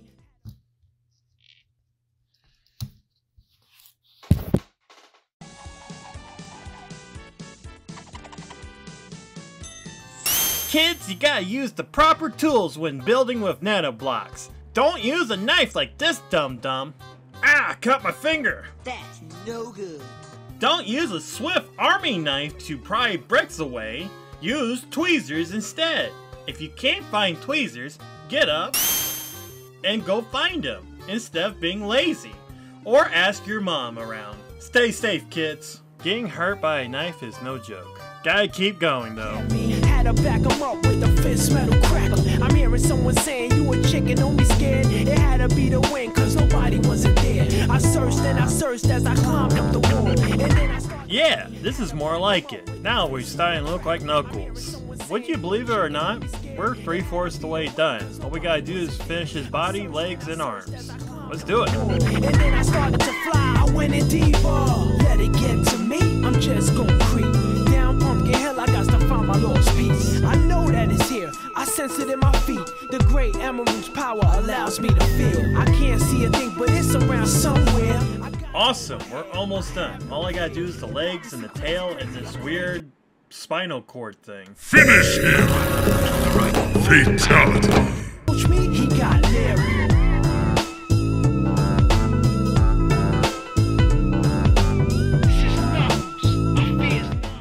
Awesomeness, he's finally done. Look at him, he's so tiny and cute. This is really fun. I really like the nanoblock thing. But I do have to say, it's very, very, very fragile to mess with. Especially when you have big hands like me. You know what they say about big gloves, right? Big knuckles. Thank you for helping me make my son. Um, yeah, no problem at all, Knuckles.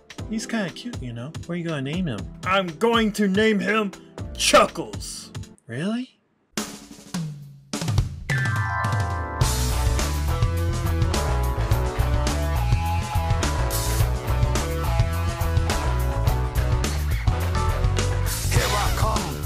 than the rest of them, the best of them, tougher than leather. You can call me Knuckles. Unlike Sonic, I don't chuckle. I'd rather flex my muscles. Chuckles, no! Oh, Knuckles. We can always make a. n-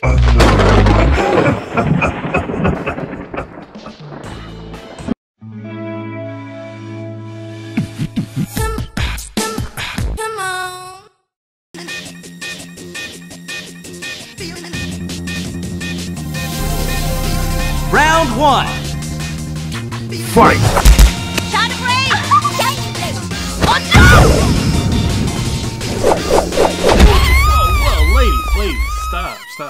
You both have visual drip. Wait, is is there something that, that I said? Oh, well, welcome to the second episode of Digital Drip. It's been a while since I did one of these. My first video in the series has gotten 1k views now. That's amazing for a weird idea about video game characters' fashion choices. So, let's make another one. I'll give you Digital Drip Halloween Edition. Happy Halloween, everyone. From yours truly, Knuckle Master. Okay, so it's been a while since I did the last Digital Drip video. Let me explain the concept again for those who are new here. This is the series where I talk about the fashion sense of certain video game characters. I talk a little bit about them and some fun facts here and there. Then, our fashion expert, Kimmi Masamune, will try and make the outfit in VRoid Studio. VRoid Studio is a free program that you can use to make VTuber models and outfits. It has its limitations, but that's what makes it fun to figure out in the program. Also, I use Photoshop for texturing to make the outfits. She uh, doesn't really like her voice, so I dub over her lines and she acts my face for me because I'm not comfortable showing my face.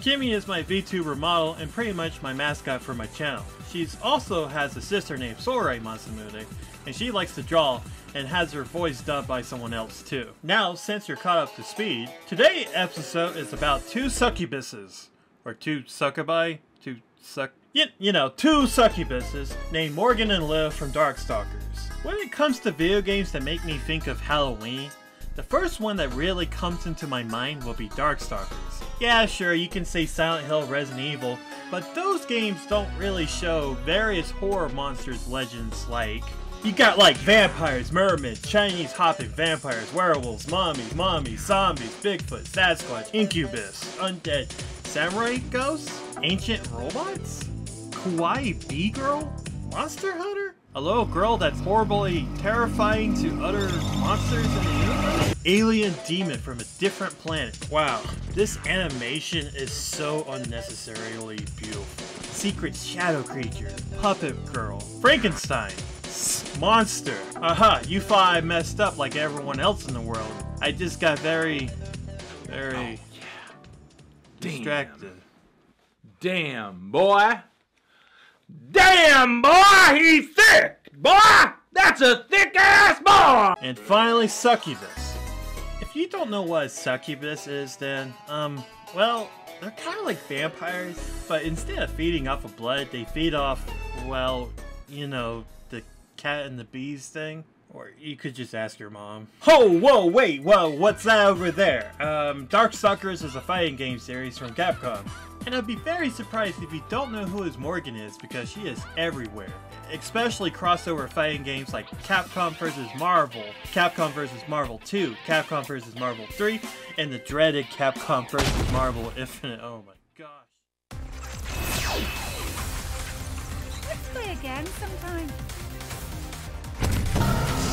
Oh my But hey, Tatsunoko vs. Capcom is pretty rad. Or that one Neo Geo fighting game called SNK vs. Capcom. Yeah, maybe sometimes she likes to be in the puzzle game, like Super Puzzle Fighter. And she also makes many appearances in JRPG crossover games as well, like Namco Cross Capcom or Project X Zone or Project X Zone 2, and many other appearances.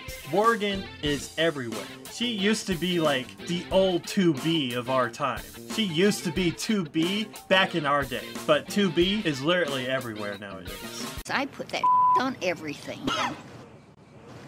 If you're rating on I'm sure if you're at a video game or anime convention too, I will guarantee that someone is cosplaying as Morrigan or Lilith from Darkstalkers. If you didn't see them yet, then they must have transformed into a different outfit or person with their wings. Morrigan has a craving for exploring the human world, because she's usually locked up in her castle because of her master. And that's why she's in many crossover games. When feeling strange strong powers, she has to go check it out because it makes her very excited. Morrigan is pretty much an anti-hero, but very confident and sexy. I'm not a total expert of the Darkstalker series, but I'll try my best to give you some great information about Morrigan and Lilith. So let's check it out. First off, we'll start with the star of the show, Morrigan. The very sexy, confident, badass succubus that transcends time. During Darkstalker's development, people say that Morrigan was going to be a cute vampire, and Felicia the cat creature was going to be the sexy design for the Darkstalker game. Then someone said you should make Morrigan a succubus since we already have a vampire character in the game. So they switch out the design ideas, but Morrigan as a sexy succubus and Felicia being the cute cat girl instead. I can't help to think that Morrigan still kept some of her vampire roots from her original design aspect.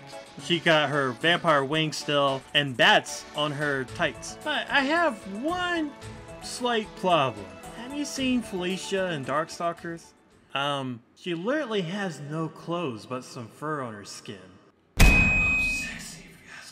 Morrigan's soul is split into three parts. Why, you may ask? Well, her father felt a very strong power within her when she was a child. So being fearful of her unrelenting, unknown strength as a young child, he decided to split her soul into three parts, hoping when she becomes an adult she can control her powers a lot better. One third is with Morrigan, of course. The second third is with her father, and eventually he dies and it goes back to her. And the last third of her soul becomes Lilith in Darkstalkers 3.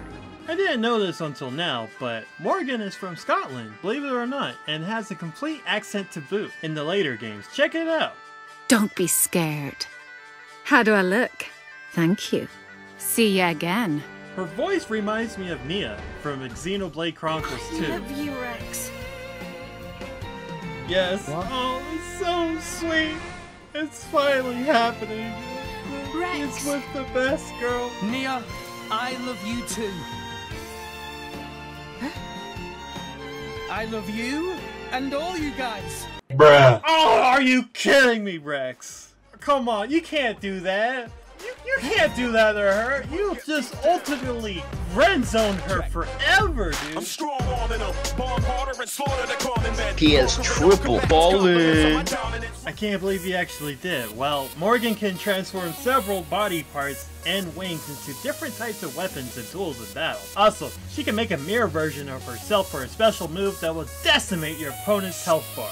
I took the time to look up Morrigan's name and what's the meaning behind it, and it means Phantom Queen, often known as the god of war in the Arthurian legend. You know, like King Arthur, usually symbolizes as a crow and can transform and also has healing powers too.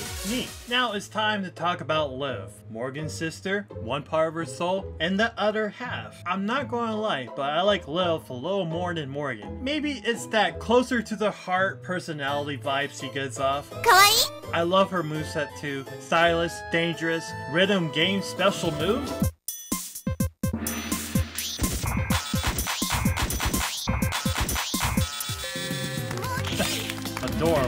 Lilith's first appearance is in Darkstalkers 3. Her main goal is wanting to feel complete, looking for a body, and Jedah promised her a body if she brings him souls. You know, like for his art school project.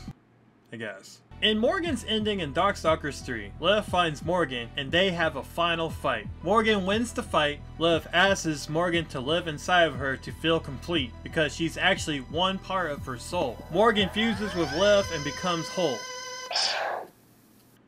When Morrigan becomes whole, she has a brighter outlook on life thanks to Lilith's part of Morrigan's soul. Time to name research Lilith's name. It means to belonging to the night, a feminine word for demon and also Adam's first wife's name, but it doesn't appear in most common versions of the Bible. I feel like Lilith doesn't act super evil for this name though, or she acts innocent for fun? Yeah! but I don't really see it at all. She acts completely opposite from the meaning of her name. One of the earliest idea for Lilith was to make her gender ambiguous, being up for interpretation to each player. Kinda like NiGHTS from Sega, and be an angel type and be Morrigan's older sister with light powers. Well, at the time, they felt like there were too many angel type characters at the time of the game's release. I'm having a hard time believing that, to be honest. Um, message me in the comments about if there were a lot of angel type characters back in the day, during PS1, Sega Saturn, you know, that kind of stuff. I am hyper curious to know about a lot of angel type characters back in the day. I, I just can't believe it. Really. So they got around changing ideas around for her to be a part of Morrigan and being a younger sister, but they kept Lilith having light powers, while Morrigan's having the dark powers. Kinda like Ryu and Ken from the Street Fighter series. Lilith may not have many appearances like her big sister Morrigan, but she does appear in some games like Tatsunoko vs. Capcom and one of Morrigan's special moves. He does appear in Cross Edge too. I haven't played it myself, but it's a JRPG game and another crossover game with multiple characters from Namco, Capcom, and Idea Factory. That's pretty cool. I might need to check it out sooner or later. If you already played it, let me know in the comments. I would like to know. I feel like there wasn't a whole lot of information about Lilith because she kind of only appears in one main game called Darkstalkers 3. So here's a fun fact from me about myself. This is my favorite color palette for Lilith. The orange and the letter royal blue look combination of colors is so vibrant. I love this combination. I, I use this palette swap all the time while playing Darkstalkers 3. Oh yeah, Lilith also appears in Morrigan's ending for Super Gem Fighter Mini Mix, taking away a title from Morrigan from the most beautiful woman on the planet. Yeah, in Morrigan's story, she actually gets her butlers to take pictures of beautiful women. As she's going for the pictures, she gets so mad by finding a picture of Chun-Li that she decides to go off and tries to defeat her herself to become the most beautiful woman on the planet. During Morrigan's ending, Lilith takes the cake by being so cute that she's the most beautiful person on the planet. I also find it really funny that Morrigan calls Lilith a flat-chested girl. If you pay attention real close, she also appears during the credit sequence as well. Well, that's a little bit about each character. Now it's time to make these outfits in V-Roid Studio. Meet our fashion expert Kimi Mamamuse. Say hi, Kimi. こんにちは。みんな、もう仕事に行ってもいいですか夏車スタ Oh, yeah, that's right. ー。うん。私の声はコンピューターのようです。You don't like your voice, I don't like my face, so let's make this outfit happen, right? SI、Okay, well, when it comes to Morrigan and Lilith, I find these characters not only iconic to fighting games, but representing video games and Halloween as a whole. Bat wings on the head is such a cool idea. Can't forget something like that in years. The tights and leotard combo is a double kill. My mind too. The feather, sometimes fur around the chest area gives the character a unique feel of innocence and charm when they experience excitement in. Wings are usually placed on top of the back for most characters, but with Morrigan and Lilith, they're placed on the lower back for the victim's eyes to be attracted to certain areas of their body. Or use their wings to transform into a nurse.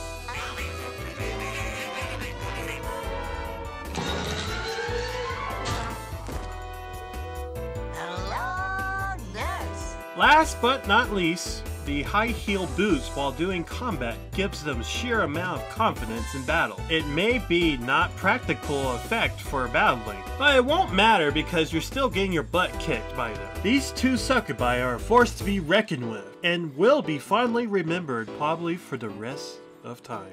Enough talk of the two beautiful succubi. Now it's time to make our outfits. So, first off, we're gonna start off with Lilith, because I like her more. I do love Morrigan too. I feel like I can have a cup of coffee with Morrigan and have a great time. But I'm pretty sure that Lilith would play Sonic Shuffle with me, without me begging of course. Is that... is that all we want in life? Someone not only to hold on to, but someone to play video games with forever? Or that's just me then? そう、それはあなただけです。Okay, well, um, let's get back to the task at hand then. Okay, well, here's the list of things that we need to make for Lil's outfit. A leotard with a diamond cut on the chest, tights, sleeves, heels, feathers. As for bat wings on the head, I'm gonna make Kimmi's bow as the bat wings instead. And finally, wings on the back. Alrighty then, you ready to get started? Let's go!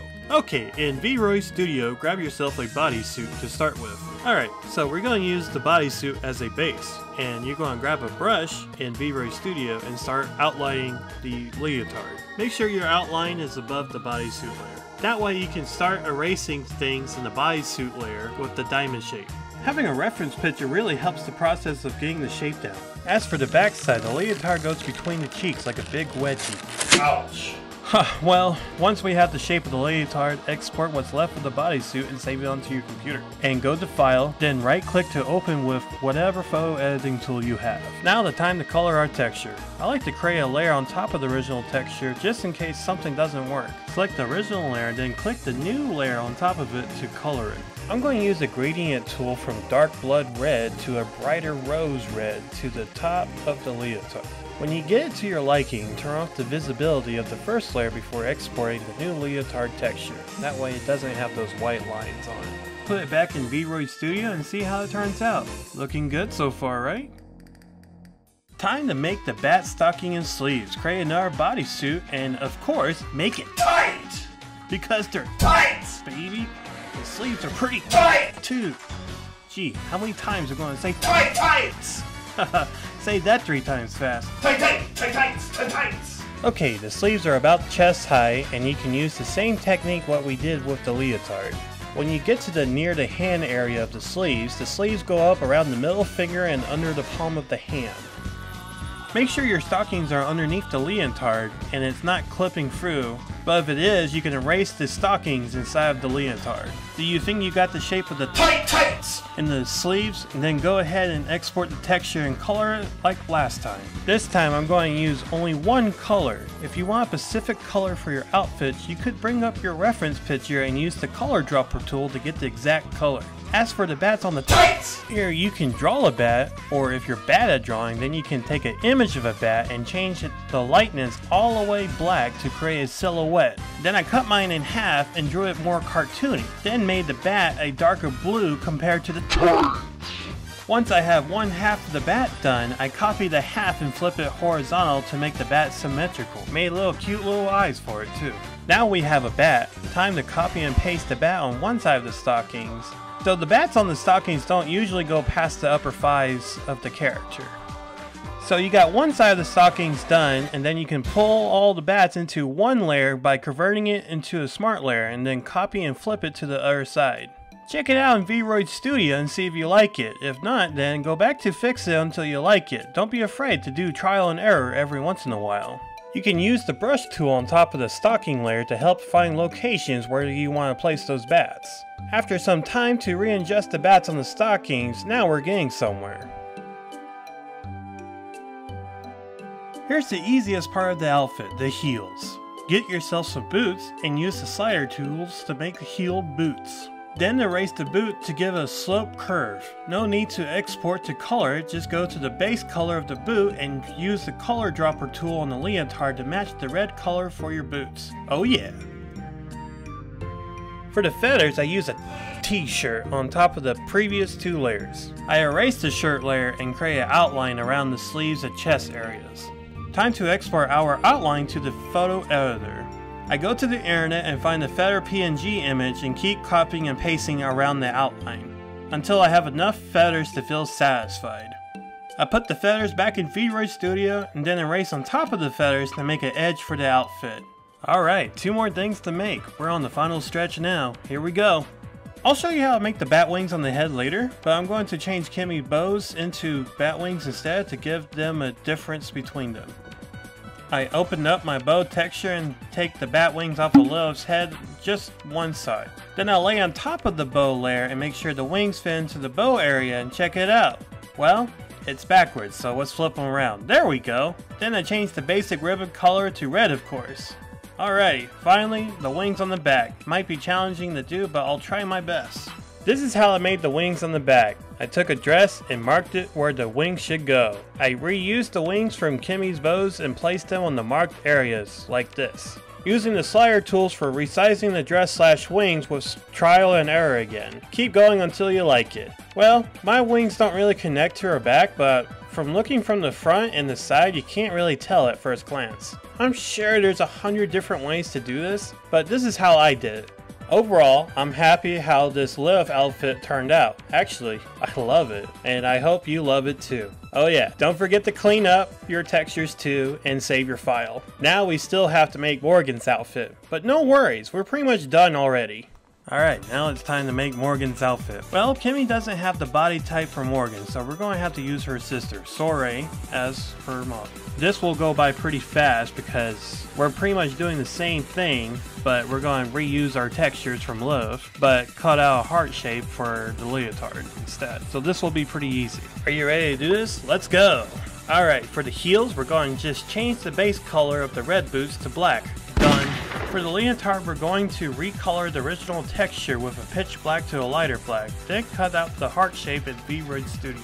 Pretty easy, right? For the stockings and sleeves, we're going to image adjust to change the hue of the stockings to that Morrigan purplish pink color like a balloon.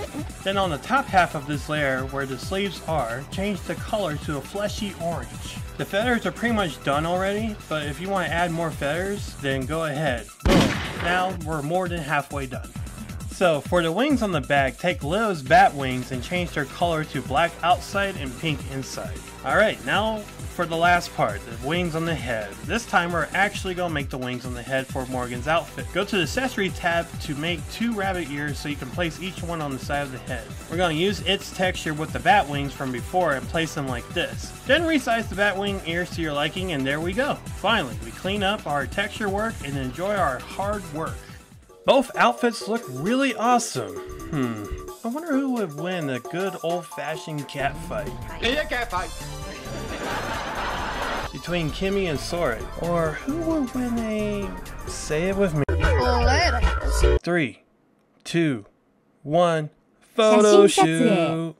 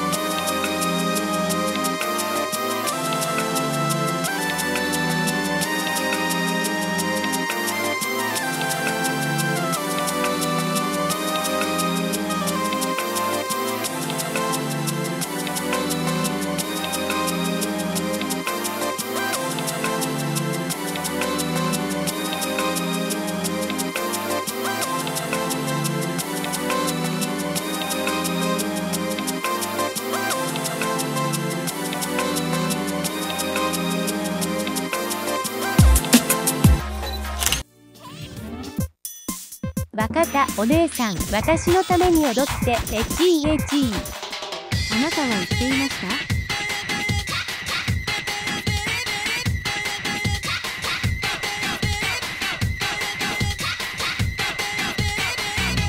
たわかった。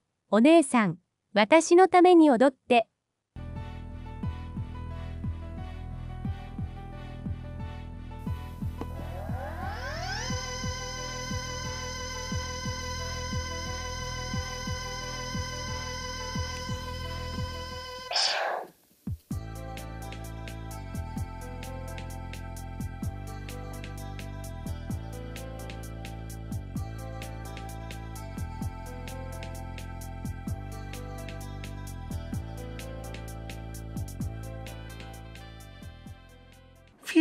was a lot of editing for a video, especially at the beginning of the video. I had a lot of fun doing this, and I wanted to make this video for Halloween, but with all the over editing and learning more about 3D animations, it took me a lot longer than expected. I'm very happy how this video turned out to be honest. I enjoy making it, and I hope you enjoy it too. I have been pushing myself to get 500 subs this year, and I recently got sick. Um, half of my skull feels really numb.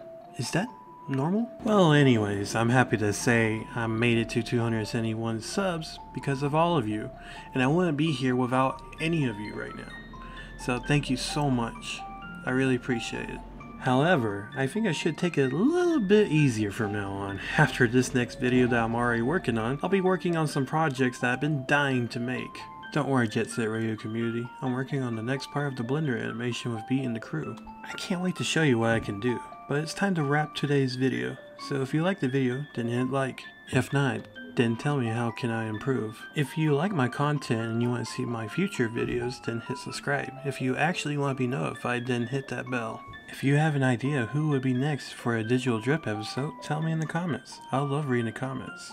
Also, I have a Reddit page and we have 12 members. Yahoo! You're more than welcome to join and post your own art and stuff as, as long as it's related to something about video games and anime. We need some fan art for the community one day. I would like some fan art for the channel one day, but I know that's a bit far away from now. Haha, okay, that's enough of that. I need to say that without Fighters Generation website, this video wouldn't turn out so good. They got all kinds of cool information about fighting games, lore, artwork, and cool gifs too. Check it out sometime, I'll put down a link for their website in the description. Alright, I think that's it for now. I hope you have a great day today, and I'll see you next time. Hopefully the next video will come out a lot sooner than I think it is.